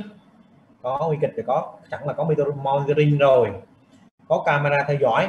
Hiện nay ở các bệnh viện tuyến tỉnh ờ, cũng như là hạng một đó, người ta có camera theo dõi hết. Camera theo dõi toàn bộ khoa phòng, nha. Cả camera theo dõi khoa phòng này monitoring trung tâm máy máy theo dõi trung tâm á là tất cả máy monitoring tất phòng là gắn một máy trung tâm là ngồi của phòng uh, phòng đó. Người ta nhìn thấy là thay đổi điện tim là thay đổi mạch nhiệt độ áp tất cả bệnh nhân nặng. Đó, monitoring trung tâm. Có camera giám sát toàn bộ hiểu không? Thì, thì đỡ hơn nhiều. Hồi xưa thì anh chị thấy là thành ra phòng bất cứ người ta làm để trống hết người ta quan sát bằng cách là ngồi đó nhưng quan sát để trống hết thấy không? Là nhìn thấy rõ. Chứ mà anh chị mà xây bức tường bức tường ngăn cách ngăn cách là chị không thấy uh, thì thay đổi bệnh nhân mà hiện nay thì đỡ hơn rồi chứ có camera giám sát rồi có motor đi giám sát rồi như vậy là vấn đề này sẽ đỡ hơn. Tuy nhiên là tất cả y tá phải phải rèn luyện cho mình khả năng là quan sát nhanh. À, phải biết tổ chức hợp lý để phân phối chiến lực đó là điều quan trọng cơ bản đầu tiên. Đó, nhiệm vụ nguyên tắc cơ bản thứ hai là bác sĩ cấp cứu là phải ra quyết định. Thường thường quyết định nó rất là quan trọng. Đó đến bệnh tật diễn biến cũng như tính mạng của bệnh nhân. Đó, rất là quan trọng như thế không? Đó. Mình, mình, mình bác sĩ những bác sĩ cấp cứu là phải có quyết định. Dứt khoát. Đó. mà để một quyết định như vậy thì bác sĩ cấp cứu cần phải là được tập huấn trang bị kiến thức đầy đủ. Hiểu không? Rất nhiều kiến thức nội ngoại sản nhi phối hợp và thứ hai là phải có cái gì? Có quy trình cấp cứu. Và chính vì vậy để mà quyết định thì bác sĩ cấp cứu thường phải đối mặt. Nhất là gì? Schengen là bệnh nhân nào cần được thăm khám trước? Mình phân biết phân biệt ra. Bệnh nhân nào là nguy kịch? Bệnh nhân nào là cấp cứu? Bệnh nhân nào không cấp cứu? Bệnh nhân nào cần được thăm khám trước? Điều rất là quan trọng câu trả lời đầu tiên để mình quyết định chính xác. Thứ hai là cần các can thiệp điều trị nào để ổn định bệnh nhân? Đó, cái câu trọng cái quan trọng nhất là mình phải phát hiện bệnh nhân phân biệt bệnh nhân đó nè. Phân biệt bệnh nhân chẳng đoán bệnh nhân nào là nguy kịch? Bệnh nhân nào là cấp cứu? Bệnh nhân nào không cấp cứu? Và thứ hai là quyết định là cái cái điều trị nào sẽ ổn định bệnh nhân. Ví dụ, mình thấy là bệnh nhân nó thở gấp cá rồi, thì quyết định đặt nội quản là gì đầu tiên đúng không? Chị thấy vấn đề đó là quan trọng đó nè. Bệnh nhân mà vô viện thấy mình thấy gì huyết áp tụt là phải nâng nâng huyết áp đi bằng cách truyền dịch, truyền cái dịch cao phân tử. Hoặc là gì bệnh nhân vô viện bị mất máu nhiều quá, mình phải truyền dịch và truyền máu lập tức đúng chưa? Đó, quan trọng. Thứ hai là mình phải cao là các thông tin nào thì cần phải chẩn đoán này quan trọng này. Thông tin nào cần chẩn đoán mình hỏi bệnh nhân. Ví dụ từ mình thấy là gì? Bệnh nhân à, đứt cái chân hỏi là có phải là do não thông không? Có xe cán qua chân không? Đó là dễ dễ không? Hoặc là gì? Thấy bệnh nhân tụt áp coi bệnh nhân có đi cầu uh, nhiều không? Có bị bệnh gì trước đó không? Có bị nhiễm trùng có sốt ho rồi chứ không? Để biết bệnh nhân có sốc nhiễm trùng không? Có sốc tích không? Có bệnh nhân tim mạch ờ, hỏi bệnh nhân là sốc tim là có bị bệnh tim mạch trước đó không? Nha. Đó, rồi. Và có cần các điều trị cấp cứu nào không? Rồi. Sau đó mình phải trả lời câu tiếp theo là gì? Có cần nhập viện không? Hay là ra viện? Đó, câu người ta bệnh nhân vô ví dụ nhân bị tai nạn giao thông mà người ta vô người ta bị xây sát cái ta tay không rồi mình cho khám xong mình điều trị xong chụp phim xong cho về còn có bệnh nhân mà chấn thương sọ não mình phải giữ lại. Coi bệnh nhân có lưu không rồi hay là cho về hay là nhập viện. Hay là lưu hiểu không? Là phải suy nghĩ là chi thông báo cho bệnh nhân và gia đình như thế nào. Vậy đúng không? Mình giải thích. À, rất là quan trọng này. Bệnh nhân vô. Anh phải giải thích là bệnh nhân bị bệnh chi. Cần cái gì thế nào? Theo dõi thế nào? Nếu anh không giải thích là chi? Nếu mình bệnh đang xảy ra nặng biến chứng tử vong mình phải đổ thừa cho bác sĩ. Rất là quan trọng rồi. Nguyên nguyên tắc cơ bản thứ ba nữa là gì? Khi tiếp cận bệnh nhân cần tuân thủ các nguyên tắc nhất định để đảm bảo ra được quyết định nhanh, kịp thời, chính xác nhất có thể, không bỏ sót các cấp cứu bệnh lý nguy hiểm. Thành ra cái bài cấp cứu này là soạn PowerPoint khó lắm mình chị thấy không? Nếu mà giảng bài Word vẫn dễ tại vì đó từ ngữ nó rất là đầy đủ và chính xác, không bỏ từ nào được hết. Đó. khi tiếp cận nhà cấp cứu là phải tuân thủ nguyên tắc nhất định để ra quyết định nhanh nhanh lên nè, kịp thời, chính xác, không bỏ sót các bệnh lý nguy hiểm. Đây là vấn đề mấu chốt, quan trọng. Nguyên tắc thứ ba. Mà để là phân biệt ra cái ấy thì người ta dùng màu sắc. Các anh chị thấy, bữa sau anh chị thấy khoa cứu người ta trang bị màu sắc. Màu đỏ, màu xanh, màu vàng, màu đen. Bốn màu. Nhưng hiện nay người ta không có dùng màu đen. Thấy không? Ở ở Việt Nam mình là người ta dùng màu đỏ, màu xanh, màu vàng thôi. Như vậy là màu xanh lá là tương trưng tương, tượng trưng cho bệnh nhẹ chấn thương nhẹ anh chị là cột tay bệnh nhân màu xanh nha. À, có bản phân loại màu xanh đó là bệnh màu xanh là bệnh gì? Bệnh màu xanh là những bệnh có thể chờ đợi hàng giờ để điều, điều trị hoặc chăm sóc. Ví dụ như là bệnh nhân rách da thôi chày da thôi bong găng thôi gãy xương nhỏ thôi thì ok. Ví dụ như anh thấy chị cô này là chỉ có chảy xước da thôi đúng nha mặt thôi nó thì nặng nề nhưng mà chảy xước da mặt thôi. Như vậy là có thể đợi hàng giờ chăm sóc được.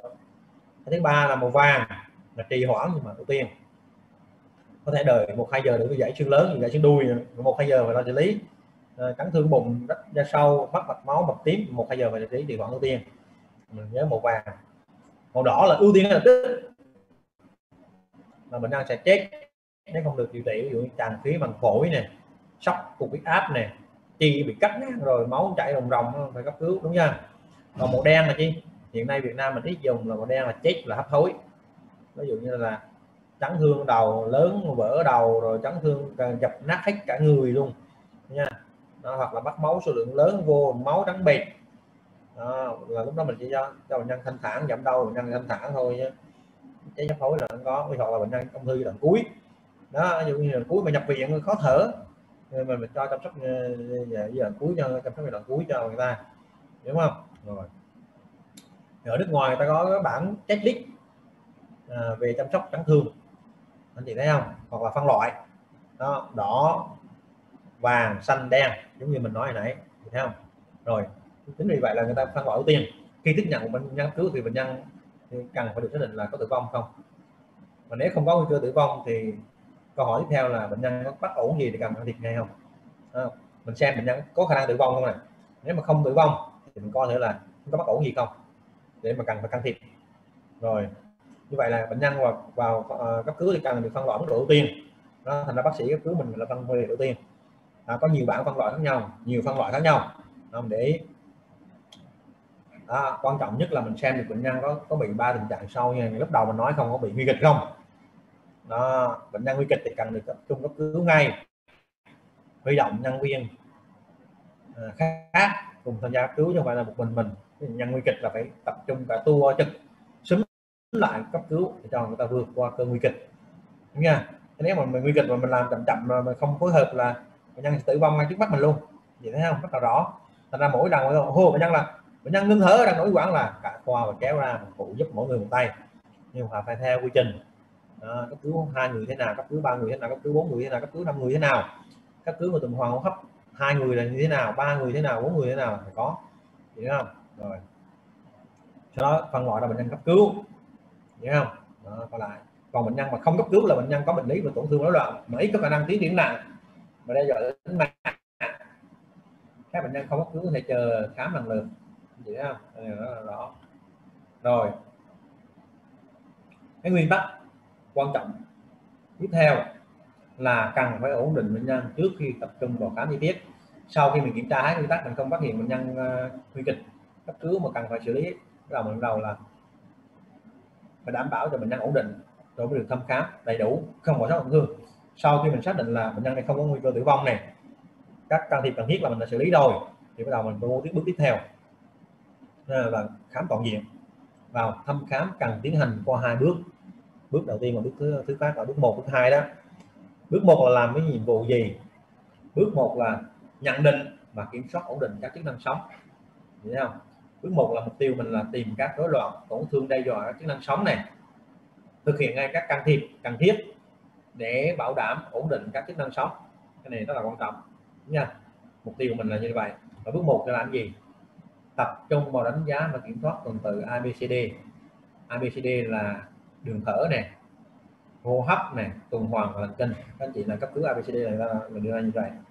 BACD là đủ thế nhanh chóng xác định các tổn thương đó loạn quan trọng làm ảnh hưởng chức năng sống mà xử trí ngay. Như tràn khí màng phổi, áp lực, vết thương mạch máu, nó ép tim cấp do tràn dịch dòng máu bằng tim, rối loạn con kìm nặng, rối loạn kali máu nặng, hạ đường máu. Đó. thì mình xác định cái chức năng sống mà mình bước một làm như thế và mình thực hiện các thủ thuật cấp cứu để ổn định chức năng sống ví dụ như khai thông đường thở đặt nội khí quản, bóp bóng thở oxy đặt truyền cầm máu chọc màng phổi chọc dịch màng ngoài tim sóc điện chuyển nhịp. Đối với nhịp nhanh trên thắt nhịp nhanh ờ, thắt đúng nha nó là quan trọng. Người bệnh nhân mà chụp cái phim phổi lên phổi tràn dịch cả một hết một bên thì mình cho chọc tháo dịch ra đúng không? Hoặc là tràn dịch bằng tim. Mà trẻ tim khác bóng tim lớn quá mình chọc tháo dịch. Cái ờ, khai thác các thông tin tiền sử thuốc đang dùng xét nghiệm nhanh. Để có, có quyết định xử trí tuy nhiên vấn đề mấu chốt là không mất nhiều thời gian vào hỏi hỏi thăm khám làm xét nghiệm đó. mà phải để ý là không được để việc là hỏi bệnh đó, làm ảnh hưởng đến quá trình đánh giá và kiểm soát kỹ năng sống ví dụ mình mình thấy bệnh nhân mà mà yếu rồi uh, suy hô hấp rồi thở gấp cá mà còn hỏi bệnh nhân là khó thở khi nào khó thở bao như thế nào là mệt lúc đó mình lo đặt ở quản rồi không nói gì hết hiểu không đừng có là hỏi mà làm xét nghiệm nữa. Ví dụ như là lúc nó khi lấy cái máu động mạch, rồi làm đo áp, rồi đo FPO2 là mấy đó là sẽ làm chậm trễ quá trình đánh giá và kiểm soát cái năng sống và cũng như là cấp cứu kịp thời. Rồi mình phải để ý là cấp cứu là nó khác so với thông thường. Rồi, sau khi mình khám bước một xong rồi bắt đầu mình chuyển sang khám bước 2 bước hai là mình khám khám một cách hệ thống và chi tiết theo trình tự để là đánh giá đầy đủ tổn thương, rối loạn bệnh lý, để có kế hoạch xử trí cấp cứu xử trí điều trị để hợp lý. Rất là quan trọng. Sau khi mình làm bước một xong mình làm bước hai. Các anh chị nhớ cái bài này các anh chị phải nhớ từ đây đến cuối đời. Để khỏi phải quên. À, nếu mình bỏ bước là mình sẽ chỉ để mà bệnh sót. Thành ra chị anh chị cấp cứu gặp. Hồi một không để cấp cứu nhanh thì cái chuyện là nhanh cơ bản cấp cứu. Vậy để rồi. Đảm bảo không bỏ sót tổn thương, rất là quan trọng luôn đấy mình rất là tổn thương mạng mà mình phải không bỏ sót. Ví dụ như trường hợp mình đi vô, mình thấy mình nhân à mình nhân khai chấn thương đầu không thôi. Mình chụp CT đầu. Mình không làm siêu âm bụng, không chụp CT bụng, không chụp CT gan. Cuối cùng mình không phát hiện ra mình đang vỡ thận chấn thương thận vỡ lách, chấn thương lách. Anh chị thấy không? Rất là nhiều trường hợp như vậy. Hoặc là không phát hiện ra trường hợp trẻ khoan ví dụ đang ờ, nhân chấn thương ra mình chú ý là gì à, ờ, là chú ý mấy cái, cái vấn đề là trên đầu trên cổ bụng thôi. Té ra mình đang chấn thương chân trẻ khoan cuối cùng mình đang bị cắt cụt chân ví dụ như đó. Anh chị thấy không? Đó, cái sự việc mà cô bé sinh viên ở đắk lắc như vậy cô bé bó bột xong rồi chi? Không có xem rồi không biết cuối cùng nhân cắt cụt chân. Đó, ví dụ như đó. Mà để mà đảm bảo là không bỏ sót tổn thương á thì cần tuân thủ nguyên tắc của trình tự khám như sau. Là đứng bên cạnh bệnh nhân để thu thập lịch sử không đứng xa đứng gần đứng cạnh bệnh nhân này thăm khám lâm sàng một cách tập trung liên tục tránh bị ngắt quãng. Cái điều này rất là quan trọng này. À, rồi. Thứ hai nữa là thăm khám một cách hệ thống từ đầu đến chân. Chị thấy không? Anh chị thấy khám mà khám xong khi khám ấy còn có thời gian rồi là mình khám từ từ từ đầu đến chân nè. Coi đầu có bị gì không? Mặt cổ nhất là cổ nhiều khi mình nhân chấn thương cuộc sống ờ, chấn thương đầu á mình bỏ quên mất cái chỉ sót là chấn thương cuộc sống cổ à, mình, mình sẽ bỏ sót là cái nhiều mới đầu lúc đó lúc đầu thì mình nhân bị chấn thương đầu thôi. Mình té răng mình gãy cuộc sống cổ à, mình gãy sống cổ mà liệt tứ chi mình không phát hiện sớm mình không phát hiện ra sốc tủy bệnh nhân cuối cùng bệnh nhân chi liệt tứ chi hoặc bệnh nhân bị siêu hấp ngưng thở ngưng tim. Đó, mặc dù mình kiểm tra đầu tốt rồi nhưng cuối cùng không chụp chi cổ này hiểu không? Thành ra hiện nay đã bắt buộc ở phòng khám cấp cứu như cũng như khoa cấp cứu là đi phải chụp chi đầu lấy luôn cả cổ thì rất gặp rất nhiều trường hợp bệnh nhân là chụp đi đầu không có gì cả nhưng mà thế là bệnh nhân bị gãy cổ. Hiểu không? Đó. Rồi thăm khám tất cả cơ quan. Cái khám các bộ phận sau rồi và khám cơ quan thần kinh hô hấp tim mạch bụng tiêu hóa tiết niệu tai mũi họng mắt là mặt. Hiểu không? Rồi khám kỹ các bộ phận mà nhất là các bộ phận mà liên quan lý do viện của bệnh nhân. Ví dụ như bệnh nhân bị xe đằng qua chân là mình khám cái chân cho kỹ. Nha à, ngã đập đầu đất là phải khám đầu cho kỹ thằng là bệnh nhân bị đánh vào bụng đánh vào ngực. À, hoặc bị đâm vô ngực là phải kiểm tra kỹ đâm vô bụng mà kiểm tra kỹ cái bụng bụng á. À, ví dụ như nhiều khi mở đầu vô nó đâm con dao vô là mới lũng ở ngoài da có nhiều hơn lũng ở phía trong á là nó không biết. Đó. nếu mình khác hiện khám không kỹ là gì? Từ từ từ bệnh nhân nó bị viêm phúc mạc nó phản ứng thành bụng sau một hai ngày nó bị nha. Hoặc là bệnh nhân bị chấn thương ờ, ngực lúc đầu chỉ biết quan bình thường đó, sau đó bệnh nhân bị dập phổi khi chụp CT phát hiện là dập phổi. Nếu mà dập phổi phát hiện sớm người ta thở máy thì bệnh nhân mới sống được. Nếu mà dập phổi để im với bệnh nhân bệnh nhân chết. À thấy gì hoặc là anh chị gặp rất nhiều trường hợp là chi? Trên mạng anh chị thấy là rất nhiều trường hợp là bệnh nhân bị chấn thương sọ não vô. Anh chị anh chị chụp CT bình thường. Đúng chưa? Và bệnh nhân tỉnh táo. À, mình không khám kỹ mình không để ý kỹ mình không giải thích kỹ cho bệnh nhân. Cuối cùng là buổi sáng bệnh nhân chấn thương sọ não vô viện khám, bác sĩ khám thấy chụp CT bình thường, khám bình thường sẽ sắc ngoài da. Tim máy là tiêu uống ván, cuối cùng túi về bệnh nhân chết mất cái ra bệnh nhân bị chấn thương sọ não là gì nứt xương sọ thôi, chảy máu đi ra đi ra đêm máu đủ là bệnh nhân tử vong. Vậy không? Rất nhiều trường hợp là bệnh nhân chấn thương sọ não là tử vong. Mà thậm chí là không phải tử vong về nhà, có nhiều trường hợp là bệnh nhân chấn thương sọ não mà tử vong ngay tại khoa ngoại kinh luôn. Anh chị thấy không? Có nhiều trường hợp bệnh nhân chấn thương về não vô mà nứt xương sọ, máu chảy đi ra đi ra đi ra, dần dần cuối cùng bệnh nhân tử vong, rất là quan trọng đó này thứ hai là chỉ thăm dò và xét nghiệm giúp chẩn đoán và giúp định hướng nhập viện thôi, chứ không làm xét nghiệm tầm soát. Gì phải nhớ nè. Ví dụ như là, ví dụ như là à bệnh nhân vô khó thở, mình cần phân biệt về khó thở do phổi rồi hô hấp, làm xét nghiệm RBB hết không là thêm xét nghiệm khác. Ví dụ như khí máu mạch, làm, nha. Hoặc là bệnh nhân bị chấn thương, mất máu, xét nghiệm có thể bị thiếu máu hoặc truyền máu rồi làm mấy xét nghiệm khác nè. Hoặc là bệnh nhân bị chấn thương ngực, chấn thương đầu ra chụp phim phổi, CT phổi, thì ngực, hoặc là chỉ chụp CT sườn não anh chị nhớ không? Đó là quan trọng, đừng làm xét nghiệm thừa thừa. Ví dụ như là bệnh nhân ờ, chụp hết lỗ chân cuối cùng bé là bệnh nhân bị vùng ngực thôi, không thôi, hoặc đầu không thôi. Nhớ không? Đó. không làm xét nghiệm như thừa. Mà hiện nay là một trong những cái mà người ta cơ bản trong bất cứ người ta triển khai xét nghiệm nhanh tại giường hoặc là chỉ chuyển xét nghiệm qua máy tính hết. Vậy không? Cái này người ta ờ, tất cả ngay tại cấp cứu ờ, ở các nước trên thế giới những các bệnh viện lớn Việt Nam mình là gì? Đang bị hết. Tất cả phòng CT phòng MRI mà siêu âm là tại giường xét nghiệm máu, tại giường chuyển xét nghiệm qua chân không. Anh chị về sau vô tham quan khóa cứu viện Đà Nẵng nha, tất cả những phòng CT MRI gần gần của khu cứu hết. Nhất là CT xét nghiệm máu thì tại ờ, tại giường hết. Siêu âm tại giường luôn thứ hai là trải quả xét nghiệm qua máy tính hết. Nha chụp xong rồi có quả là gửi qua hình ảnh qua bác sĩ cần mở lên xử lý liền. Chị không? Đó, mà mới người ta đưa ra xét nghiệm để nó nhanh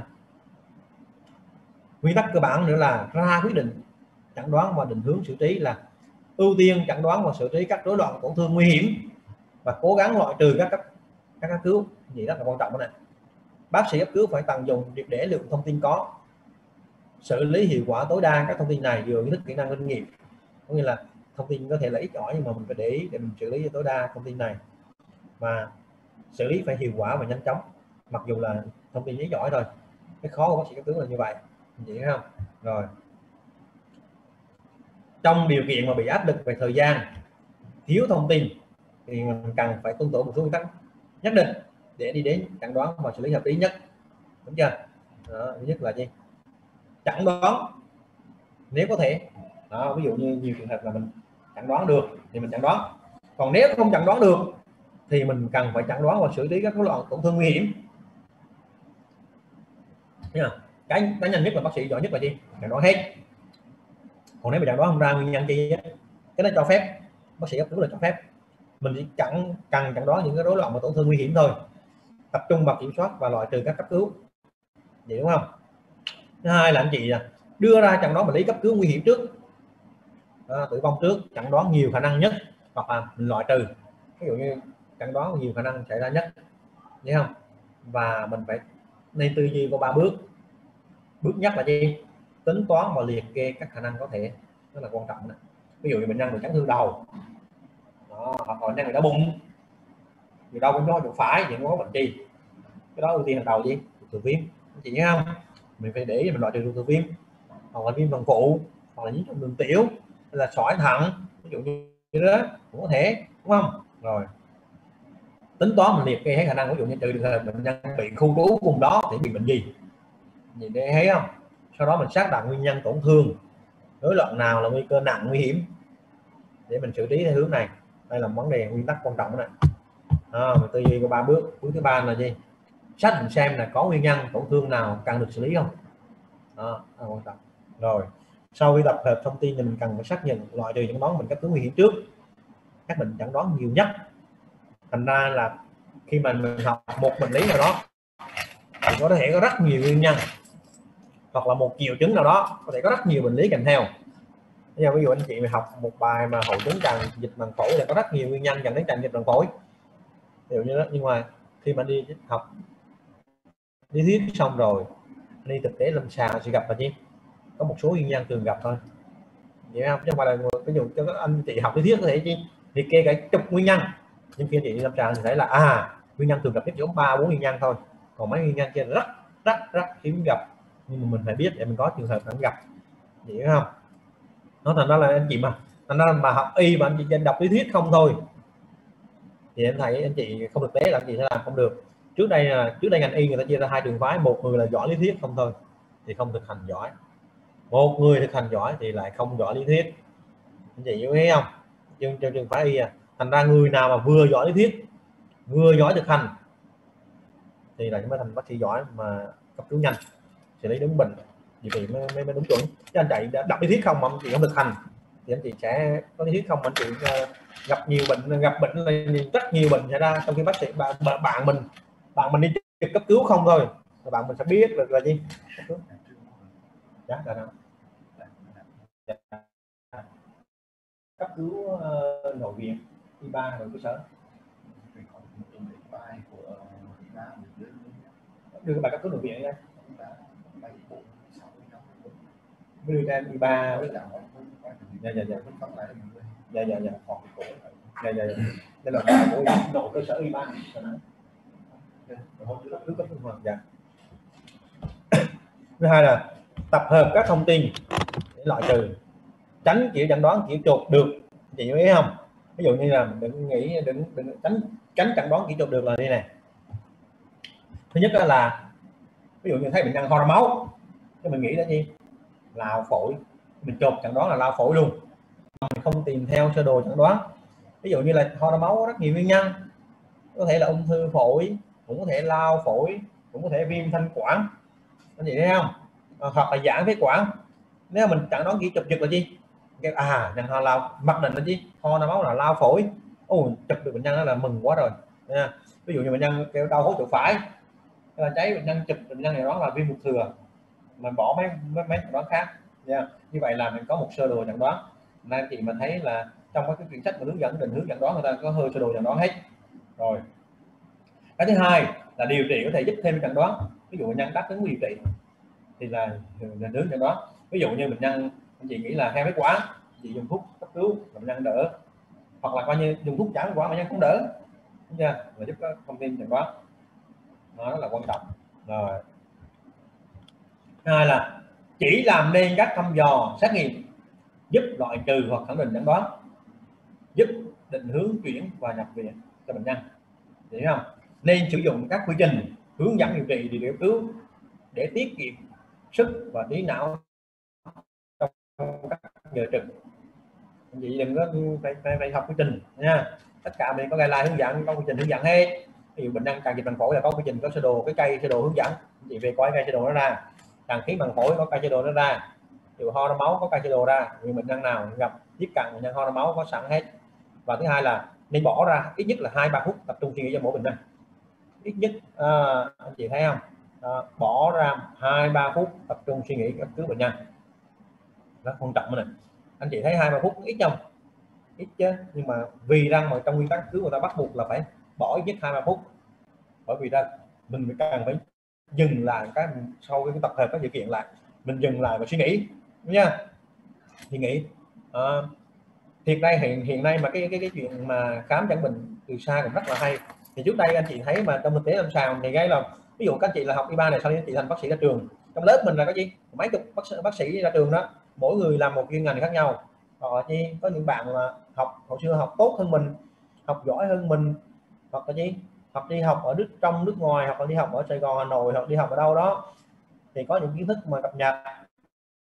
Ví dụ, ví dụ mình nhiều khi mình trực ở hỏi thử là bạn à hoặc là mình làm chuyên khoa không đúng với bệnh mình gặp thì mình lâu ngày quên mất là ho ra máu của mình tim gọi điện cho bạn gọi điện cho người thân. Ví dụ gọi bác sĩ thân hỏi là à ví dụ ho ra máu thấy bệnh nhân ho ra máu nè thì mình làm chi bay? Ví dụ như đó anh chị biết không? Đó khám người xa à, ờ, rồi rồi. Hai là định hướng định hướng chuyển vào viện hay ra viện hay lưu theo dõi thì vấn đề rất là quan trọng rồi trước mỗi bệnh nhân cấp cứu là gì? Phải xác định thêm bệnh nhân nên được bố trí chỗ như thế nào? Ví dụ như là cho nhập viện hay ra viện hay lưu theo dõi. Nếu nhập viện thì nhập khoa nào? Cho nhập viện hai ngày hay chờ theo dõi thêm. Rất là quan trọng. Này. chứ không phải là vô vô bệnh nhân một ngày tám bảy tám bệnh nhân à, mấy trăm bệnh nhân cấp cứu hai ba trăm bệnh nhân cấp cứu cuối cùng cho bệnh nhân vô viện hết. Hai ba trăm là cũng không đúng. Nha mà lưu theo dõi hai ba trăm cũng không đúng. Cho về hết cũng không được. Như vậy là mình phải cân đối nhập vào khoa nào bệnh nhân cấp cứu, đúng, cho nhập viện hay cho về, đúng chưa? Trong nhiều trường hợp thì quyết định cho vào viện hay cho ra viện là một quyết định rất khó khăn. Hoặc là khi khi là không có sự thống nhất của bác sĩ và ý đồ của bác sĩ và nguyện vọng của của gia đình bệnh nhân. Nên các anh chị, các anh chị thấy mình nhiều bệnh nhân nhập cấp cứu là chi? Rất muốn nhập viện. Bác sĩ thấy bệnh nhân này không cần nhập viện. Hoặc nhiên bác sĩ thấy bệnh nhân này cần phải nhập viện. Người nhà lại không muốn nhập viện. Hiện nay là vẫn có tình huống ở cấp cứu như vậy nhớ không? Đó là vấn đề quan trọng. Hai là, để việc quyết định mà đỡ khó khăn và giảm thiểu sai sót, rủi ro thì cần theo một số nguyên tắc sau. Mình phải đặt câu hỏi này, bệnh nhân đi có cần nằm viện không? Để quyết định bệnh nhân nằm viện không đi mình phải có kiến thức tổng quát về bệnh đó thấy không? Nếu cho ra viện thì có an toàn không cho bệnh nhân và cần theo dõi tiếp theo thế nào? Trả lời nè thấy không? Rồi, nếu bệnh nhân lưu lại theo dõi theo, cứu khi chưa có quyết định, nên theo dõi ở cấp cứu lưu nha hoặc là khi bệnh nhân mà gia đình lo lắng quá, hoặc là mình còn phân vân không biết chẩn đoán của mình như thế nào, không biết là thuộc bệnh nội khoa hay bệnh ngoại khoa, không biết là thuộc tiêu hóa hay thuộc ngoại lồng ngực vì có nhiều trường hợp là nhiều bệnh nhân bị mấy bệnh một lúc luôn, chứ không phải bị một bệnh. Ví dụ như từ tim mạch cũng bị, hô hấp cũng bị, thận cũng bị, thần kinh cũng bị, như vậy mình phải biết là cái bệnh nào nặng nhất. Rồi cái điều quan trọng đó là gì cần phải suy nghĩ cẩn thận trước khi quyết định. Rất là quan trọng đó nè. Đây là con từ là quan trọng. Suy nghĩ cẩn thận. Thứ hai là tránh quyết định khi đang căng thẳng hoặc cấu giận. Cái điều đó là nó quan trọng nè. Nhiều khi mình căng thẳng quá hoặc mà cấu giận mà tức mà nhân quá, thì mình phải tạm dừng lại để tránh tĩnh vài phút rồi mới quyết định. Cái này là câu rất là quan trọng. Nhiều khi mình đi, sau mình thực hành mình quay mắt. Vậy ha. Nhiều khi mình tức, mình nhân quá, mình chọn gì, chết à, ví dụ như mình phải dừng lại không quyết định vấn đề gì khi mình đang căng thẳng hoặc cáu giận. Này nó quan trọng này khi cấp cứu. Như vậy trong khu cấp cứu là có khu vực đỏ là khu vực cấp cứu rất là nghiêm trọng. Mình đang nghiêm trọng rằng phải có à, tất cả xét nghiệm đầy đủ hết. Hoặc là chi? Có một khu vực theo dõi ngắn là gọi là khu vực khu vực giường lưu. Hiện nay các các các, các khoa cứu đều phải có nguyên tắc giường lưu. Rất là quan trọng.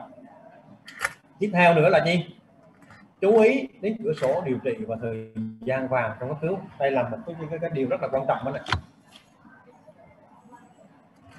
phần lớn bệnh nhân cấp cứu là cải thiện tiên lượng tử vong. Biến chứng nếu được tiếp cận và can thiệp sớm trong một thời gian nhất định một thời gian vàng như vậy là mình cho dù mình cấp cứu tốt mà mình bỏ mất thời gian vàng bệnh nhân cũng là cũng gây thiệt hại cho bệnh nhân.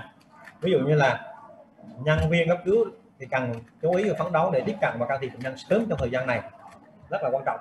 Không được làm trễ. Có những trường hợp mà mình làm trễ quá là là phải à, rất nhiều trường hợp là dạ dạ. Anh, anh đi về đó hả? À, dạ dạ. Các anh chị đợi xin dạ dạ dạ. Anh nãy nói là gì đó. Mà là dạ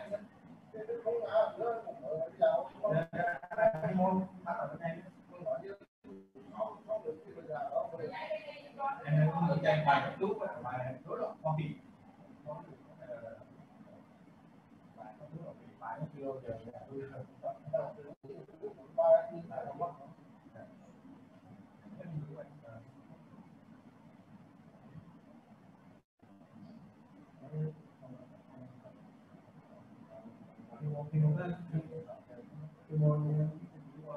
bài hô hấp là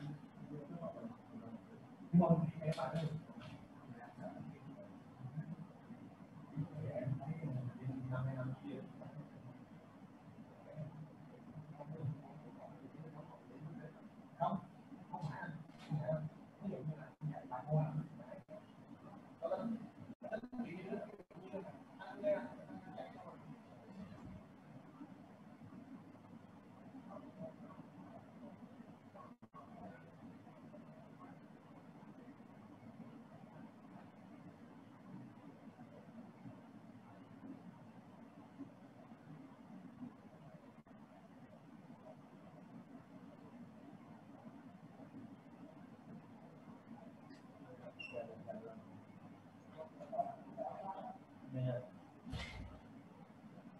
rồi xin lỗi các anh chị xí rồi. Ví dụ như là à, bài nó hơi dài xí anh chị nhưng mà thấy cái bài mà kiến thức môn cần thiết thôi. Thứ hai là nhân viên cấp cứu phải chú ý đến thời gian anh chị thấy ví dụ như trường hợp bên họ này. Ví dụ bệnh nhân ngừng tuần hoàn và sốc điện. Thì sốc điện cấp cứu là phá rung thấp và có hiệu quả nhất để thực hiện trong vòng 5 phút đầu sau ngừng tim. Anh chị ví dụ bệnh nhân mà ngừng toàn ngừng tuần hoàn cái thì mình hay nhồi tim đó, thực tế hay là mình hay nhồi tim bằng tay này hoặc là chi, mình có máy máy nhồi tim. Ở nước ngoài thì có máy nhồi tim, nhưng cái cấp cứu tuần hoàn hô hấp nâng cao là phải có sốc điện. Nên hiện nay là đa số là chi, thiếu máy sốc điện. Đa số là chị em chị, máy sốc điện chỉ có qua cấp cứu, qua nội tim mạch với vào cấp cứu thôi. Hiện nay như bệnh viện Đà Nẵng mình chưa có chị thấy không? Chỉ có là qua cấp cứu vào sức mới có máy sốc điện thôi, tim mạch có sốc điện thôi, còn tất cả qua nội khác mà mình đang thở tim là chứ không có máy sốc điện chị thấy không? Rất là quan trọng thứ hai này. Hồi sinh tim phổi phải kết hợp với sốc điện sớm trong vòng 3 đến 5 phút đầu tiên. Sau khi tuần hoàn thì mới đạt tỷ lệ cứu sống bệnh nhân lên đến 50 75 phần trăm mà mới cứu được bệnh nhân. Mà không bị di chứng não anh chị vấn đề chú ý nè bây giờ hồi sinh tim phổi quyết định thật sớm đây sốc điện sớm đây thì 3 năm phút đầu tiên. Chứ còn nếu mà sau 5 phút thì là bệnh nhân cho dù có hồi phục cũng bị là di chứng não. Rất là quan trọng. Thứ hai là hội chứng động mạch vành cấp, người ta hay còn gọi là nhồi tim thì cửa, cửa sổ thời gian cho dùng thuốc khi sữa huyết là 12 giờ đối với nhồi máu tim cái trên lên. Hoặc là thời gian can thiệp mạch vành là càng sớm càng tốt. Dù là phát hiện mình là, là can thiệp mạch vành liền. Ở nơi trung tâm can thiệp tim mạch là can thiệp liền. Nó quan trọng. Nên là tắc mạch não hay nhồi máu não thì cửa sổ thời gian dùng thuốc thì sữa huyết là chi? 3 năm 4,5 giờ. À, thành ra hiện nay mà quy trình mà cấp cứu nhồi máu não là anh chị thấy lên cầu thang của tất cả khoa trong bệnh viện nên chị thấy có gì có hướng dẫn cấp cứu đột quỵ đó. Thời gian vàng là ba đến bốn năm giờ thôi. Đó. Anh chị à, thấy ba bốn năm giờ thành ra nhiều trường hợp là chi có rất nhiều người thân của của sếp trước đây ở tất cả anh viện đó, đó ví dụ như phát hiện trẻ mất thời gian vàng và quen thằng mua làm cái nghiệm thế cuối cùng là mất thời gian vàng. Đó. trong khi người ta có quy trình cấp cứu đột quỵ rất nhanh chụp CT xong xét nghiệm đường máu xong không thấy dùng thuốc từ lập tức công trình. Sau này anh chị học bài cấp cứu đột quỵ não thì thì phát hiện như đó. Thứ hai sắp nhiễm khuẩn hoặc nhiễm khuẩn nặng á, thì cho kháng sinh đường tim. Trong vòng một giờ. Gì không? Rất là quan trọng. Cho kháng sinh đường tim trong vòng một giờ. Và điều trị tích cực sớm theo mục tiêu trong vòng 6 giờ đầu. À, điều trị tích cực sớm trong mục tiêu vòng 6 giờ đầu. Vết thương động mạch hoặc caro mạch cần can thiệp tập lại tưới máu trong vòng 6 giờ. Đó, không được uh, uh, đừng có làm galo luôn. Galo, garo luôn 6 giờ. Kiểu dụ như mình nhân mình thì mình, mình, mình chảy máu động mạch là garo luôn mà quên mất nơi mình nhân cắt cuộc chi hiểu không? Trên 6 giờ ngoài tử chi. Nó tử chi. Đúng chưa? Bài nguyên tắc cuối cùng để tránh sai lầm trong cấp cứu là tránh rào cản lớn nhất đối với chẩn đoán đúng. Như bị ảnh hưởng bởi chẩn đoán trước đó đó, rào cản lớn nhất là chẩn đoán đúng. Ví dụ ảnh hưởng đó ờ, ví dụ như là trước đó người chẩn đoán là viêm phổi. Đúng chưa? Thứ trước chẩn đoán viêm phổi. Vô viện mình không khám mình mặc định là viêm phổi luôn. Xong mình đặt ống nghe mình thấy là gì mình thấy trên ngáy đầy mình nó mình nhận được cấp siêu đi học thêm kết quả. Đúng chưa? Đó, ví dụ mình thấy đó nè. Là không được cố gắng là đừng để bị bị một chẩn đoán của đàn anh. Chẩn đoán của tiếng trước. Đó, mình à, bị ảnh hưởng mình phân tâm. Thứ hai là tránh ảnh hưởng bởi suy nghĩ của người khác là bị nhiều chấn đoán và nhiễu từ nhiều người khác nhau. À, mình phải phải có ví dụ như hiện nay là sách vở tra mạng đầy đủ anh chị thấy không? Ví dụ như bệnh mà không rõ là mình tra mạng hai tức thấy không?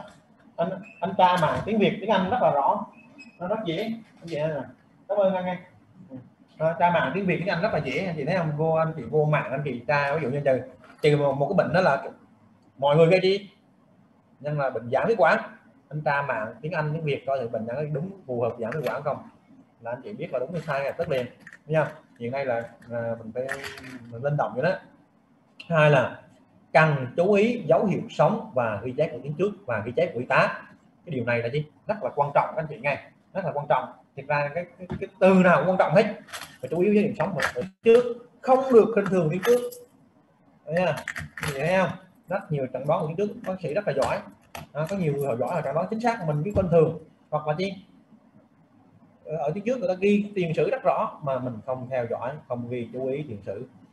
Hoặc là huyết áp y tá ghi huyết áp tục mình không để ý nha ví dụ như các trường hợp của tiếng trước người ta chẩn đoán phù hợp đúng thì người ta ghi dị ứng penicillin. Mình vô mình chết luôn là chết ờ, xong chết luôn xem là bệnh nhân khóc thuốc luôn. Chị thấy rồi một cái nguyên tắc tránh sai lầm nữa là không được gặp hồ sơ quá sớm khi chưa có chẩn đoán rõ ràng. Là nghĩa là mình không được đóng bệnh án lại. Như là mình phải cho những bệnh nhân mà chưa chẩn đoán rõ thì mình phải đưa về danh sách chưa có chẩn đoán. Hoặc là chẩn đoán chưa rõ ràng và phải có cảnh báo và bàn giao lại cho người sau. Hiểu không? Chứ đừng có vì sĩ diện mà mình chi bệnh nhân chưa có chẩn đoán rõ ràng hoặc là chẩn đoán chưa được mà mình cứ chẩn đoán mày mò một đại đại một chẩn đoán. Cuối cùng là để bệnh nhân bỏ lỡ qua những cái vì trên đời này có rất nhiều người họ giỏi anh chị nói không? Rất nhiều bác sĩ họ giỏi hơn. Hoặc là như nhiều nhiều khi trong, trong trường hợp là người trong cuộc á không ra. Người trong cuộc mà không ra.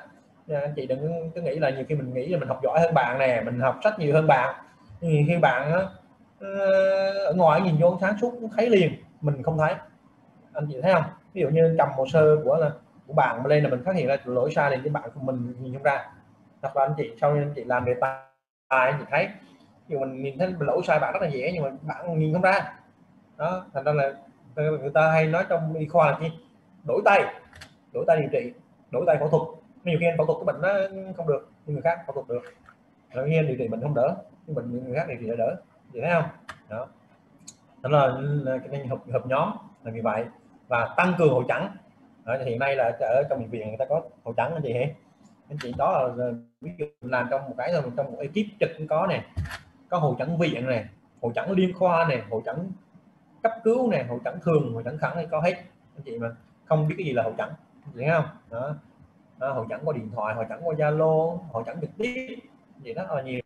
Đó. hoặc là hội chẩn với bạn bè mình ở xa. Và có nhiều bạn mình làm chuyên ngành sâu hơn gặp nhiều bệnh hơn mình có thể tham khảo. Và tốt nhất là sau này các anh chị mà làm một chuyên ngành nào đó thì anh chị phải cho chi số điện thoại của người đứng đầu hoặc chuyên gia đầu ngành về ngành đó rất là quan trọng. Và các bạn bè thân thiết trong ngành đó. Ví dụ như là anh chị à, làm ở khoa học sơ cứu là ít nhất anh chị phải kết bạn với những trên Zalo Facebook gì đó với những người làm khoa học sơ cứu. Vậy không? Ít nhất là phải kết bạn với những người làm khoa cấp cứu. Nếu mình làm khoa cấp cứu mà làm khoa cấp cứu làm nội hấp mình kết bạn với người nội hấp. Đó để mình trao đổi học thuật nha. Đó, rất là quan trọng. Nguyên tắc là thận trọng vào thời điểm nguy cơ cao. Cái này mắc là máu chốt cái này. Ví dụ như thời điểm mình đông bệnh nhân quá là mình dễ sai sót. Cái điều đó là chịu bản tính của con người. Nếu đông quá là sẽ làm sai, nhiều bệnh quá là sẽ làm sai. Cái đó là không ai tránh được hết. Gì hiểu không? Mà thành ra là mình phải cố gắng là bỏ sót. Tối thiểu. Yeah. alo, chú sĩ hả? Alo à, rồi rồi rồi đi bảo vệ đó nó về chị đó. Rồi rồi nghe. À thứ hai là thận trọng với thời điểm cao điểm giờ cao điểm. Ví dụ như có những giờ cao điểm mình mình, mình rất là là lái hệ anh chị thấy không? Thứ hai là ngày lễ tết ngày cuối tuần mình phải rất là quan trọng. Đó, đó là à, chứ không phải là thứ hai là thời điểm mệt mỏi. Anh chị thấy không? Ban ngày mình buổi sáng mình phân phối rất là không đúng. Buổi sáng mình có thể rất là hăng say làm nhiệt tình buổi chiều làm nhiệt tình xí xí. Túi buồn ngủ quá là mình sẽ làm nó qua quận là rất là nguy hiểm. Thời điểm mệt mỏi nhất là thời điểm ban đêm nhé không? Bệnh nhân phải xảy ra biến ban đêm nha những người lái xe là ban đêm mới ta biến thì ờ, mới xảy ra tai nạn nhiều, cái ban ngày thì cũng đỡ, vậy thấy không? Vậy không? Rất là quan trọng, thời điểm mệt mỏi của người sinh lý mà, đúng không? Đó. Thứ hai là thận trọng với nhóm nguy cơ cao. Anh chị mình nhớ nguyên tắc này rất là quan trọng, thứ nhất là những người lang thang, những người lang thang rất là nguy cơ cao này nghiện rượu dễ bị hạ đường huyết. Nghiện thuốc nghiện ma túy đồ nghiện thuốc lá rồi đó. Hoặc là những người bị lạm dụng rối loạn tâm thần bị bạo lực. Bạo lực thì phải đến nguy cơ cao. Và một cái quan trọng nữa là thận trọng với bệnh nhân quay lại. Nha nếu bệnh nhân mà quay lại là mình phải cần phải, phải khám kỹ hơn là so với lần trước. Vậy không? Vì bệnh nhân có thể vấn đề cấp cứu mà là chưa được phát hiện hoặc chưa xử lý đúng lúc ban đầu. Vậy không? Và nếu bệnh nhân quay lại là một cơ hội cho chúng ta sẽ sửa sai lầm của những người trước, hoặc là những lần xử lý trước, bỏ sót chẩn đoán hoặc bỏ sót xử trí. Cái này rất là quan trọng này nguyên tắc tránh sai lầm. Thành ra rồi anh chị thấy mà bệnh nhân quay lại lần hai, lần ba, lần bốn, lần năm là mình phải khám kỹ hơn. Ví dụ bệnh nhân bị một bệnh nó đơn giản mà anh chị thấy bệnh nhân quay lại là chi? Phải coi thử là mình giải quyết bệnh đó triệt để chưa hay nào mình đã nói sai, rất là quan trọng. Đúng chưa? Rất là quan trọng đó. thứ hai là chú ý các cảnh đoán quan trọng có nguy cơ cấp cứu cao cần phải là nghĩ đến và loại trừ trước. Nhìn đấy nè, thứ nhất là nhồi máu cơ tim cấp tắc động mạch phổi cấp xuất huyết dưới nhẹ chảy máu dưới não chui bằng não, viêm ruột thừa, thai ngoài tử cung sáng tinh hoàn những một số trường hợp là cấp cứu, ví dụ như bỏ sót chẩn đoán máu tim cấp là gì? Mai mà ra chẩn đoán máu tim cấp là xếp là gì nữa không? Ví dụ như là bị đục viêm mà để cả đêm không phát hiện ra đục thụ viêm. Nha hai ngoài tử cung vỡ cái đó thì là anh chị thấy không do ban xong rồi phát hiện ra những trường hợp cấp cứu mình bỏ sót là rất là, là nguy hiểm nha thứ hai là một số chấn thương găng hoặc chấn thương thần kinh khám không kỹ không phát hiện ra một số chấn thương thần kinh. Đó chị thấy ví dụ như thế, đó.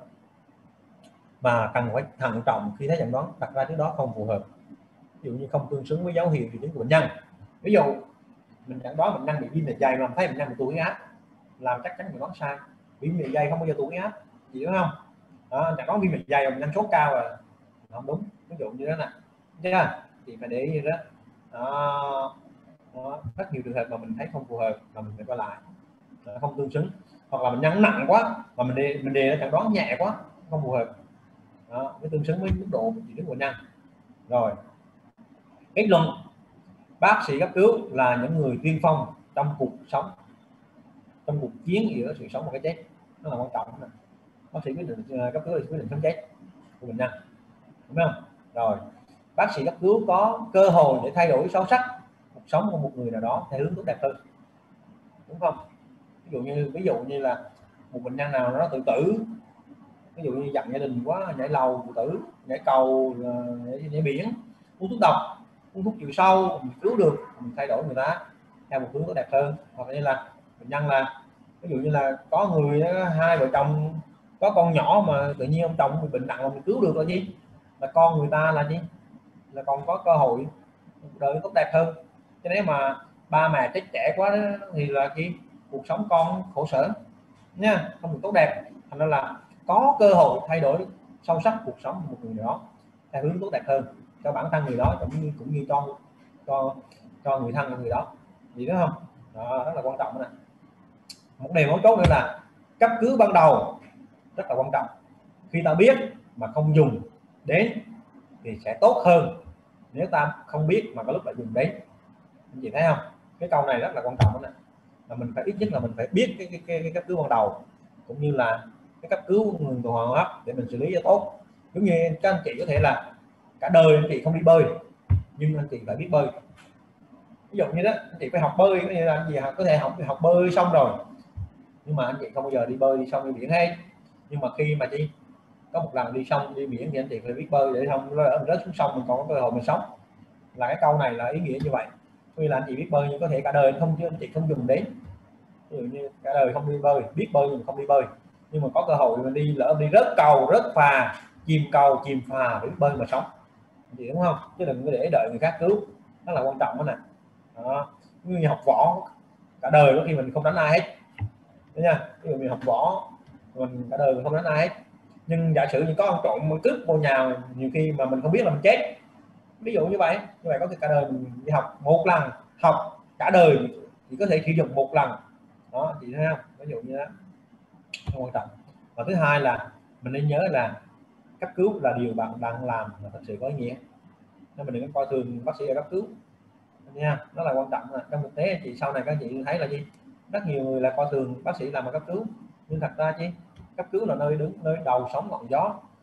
Nhưng thành ra những bác sĩ cấp cứu là đáng lẽ là gì là nơi tập trung những bác sĩ tinh hoa nhất mới đúng. À, những nơi mà như cấp cứu và hồi sức cứu là cần phải tập trung những bác sĩ tinh hoa và giỏi nhất. Gì đúng không? Thực tế là phải như đứa nhưng mà vì chế độ đánh ngộ chưa tốt lắm nên thành ra nhiều khi ờ, chưa làm được thì tùy theo. Có bệnh viện người ta làm tốt thì người ta bác sĩ sẽ cấp cứu. Vì làm cực người ta không có được đãi ngộ đá chính đáng người ta cứ làm khó khác. Vậy thấy không? Đó là thực tế nhưng tùy theo, nhiều nhiều khoa cấp cứu người ta phải có cái chính sách để thu hút và à, bổ sung nhân tài để mà khoa cứu phát triển. Rồi, bài báo cáo của mình đến đây là hết. Các anh chị có ai hỏi gì không?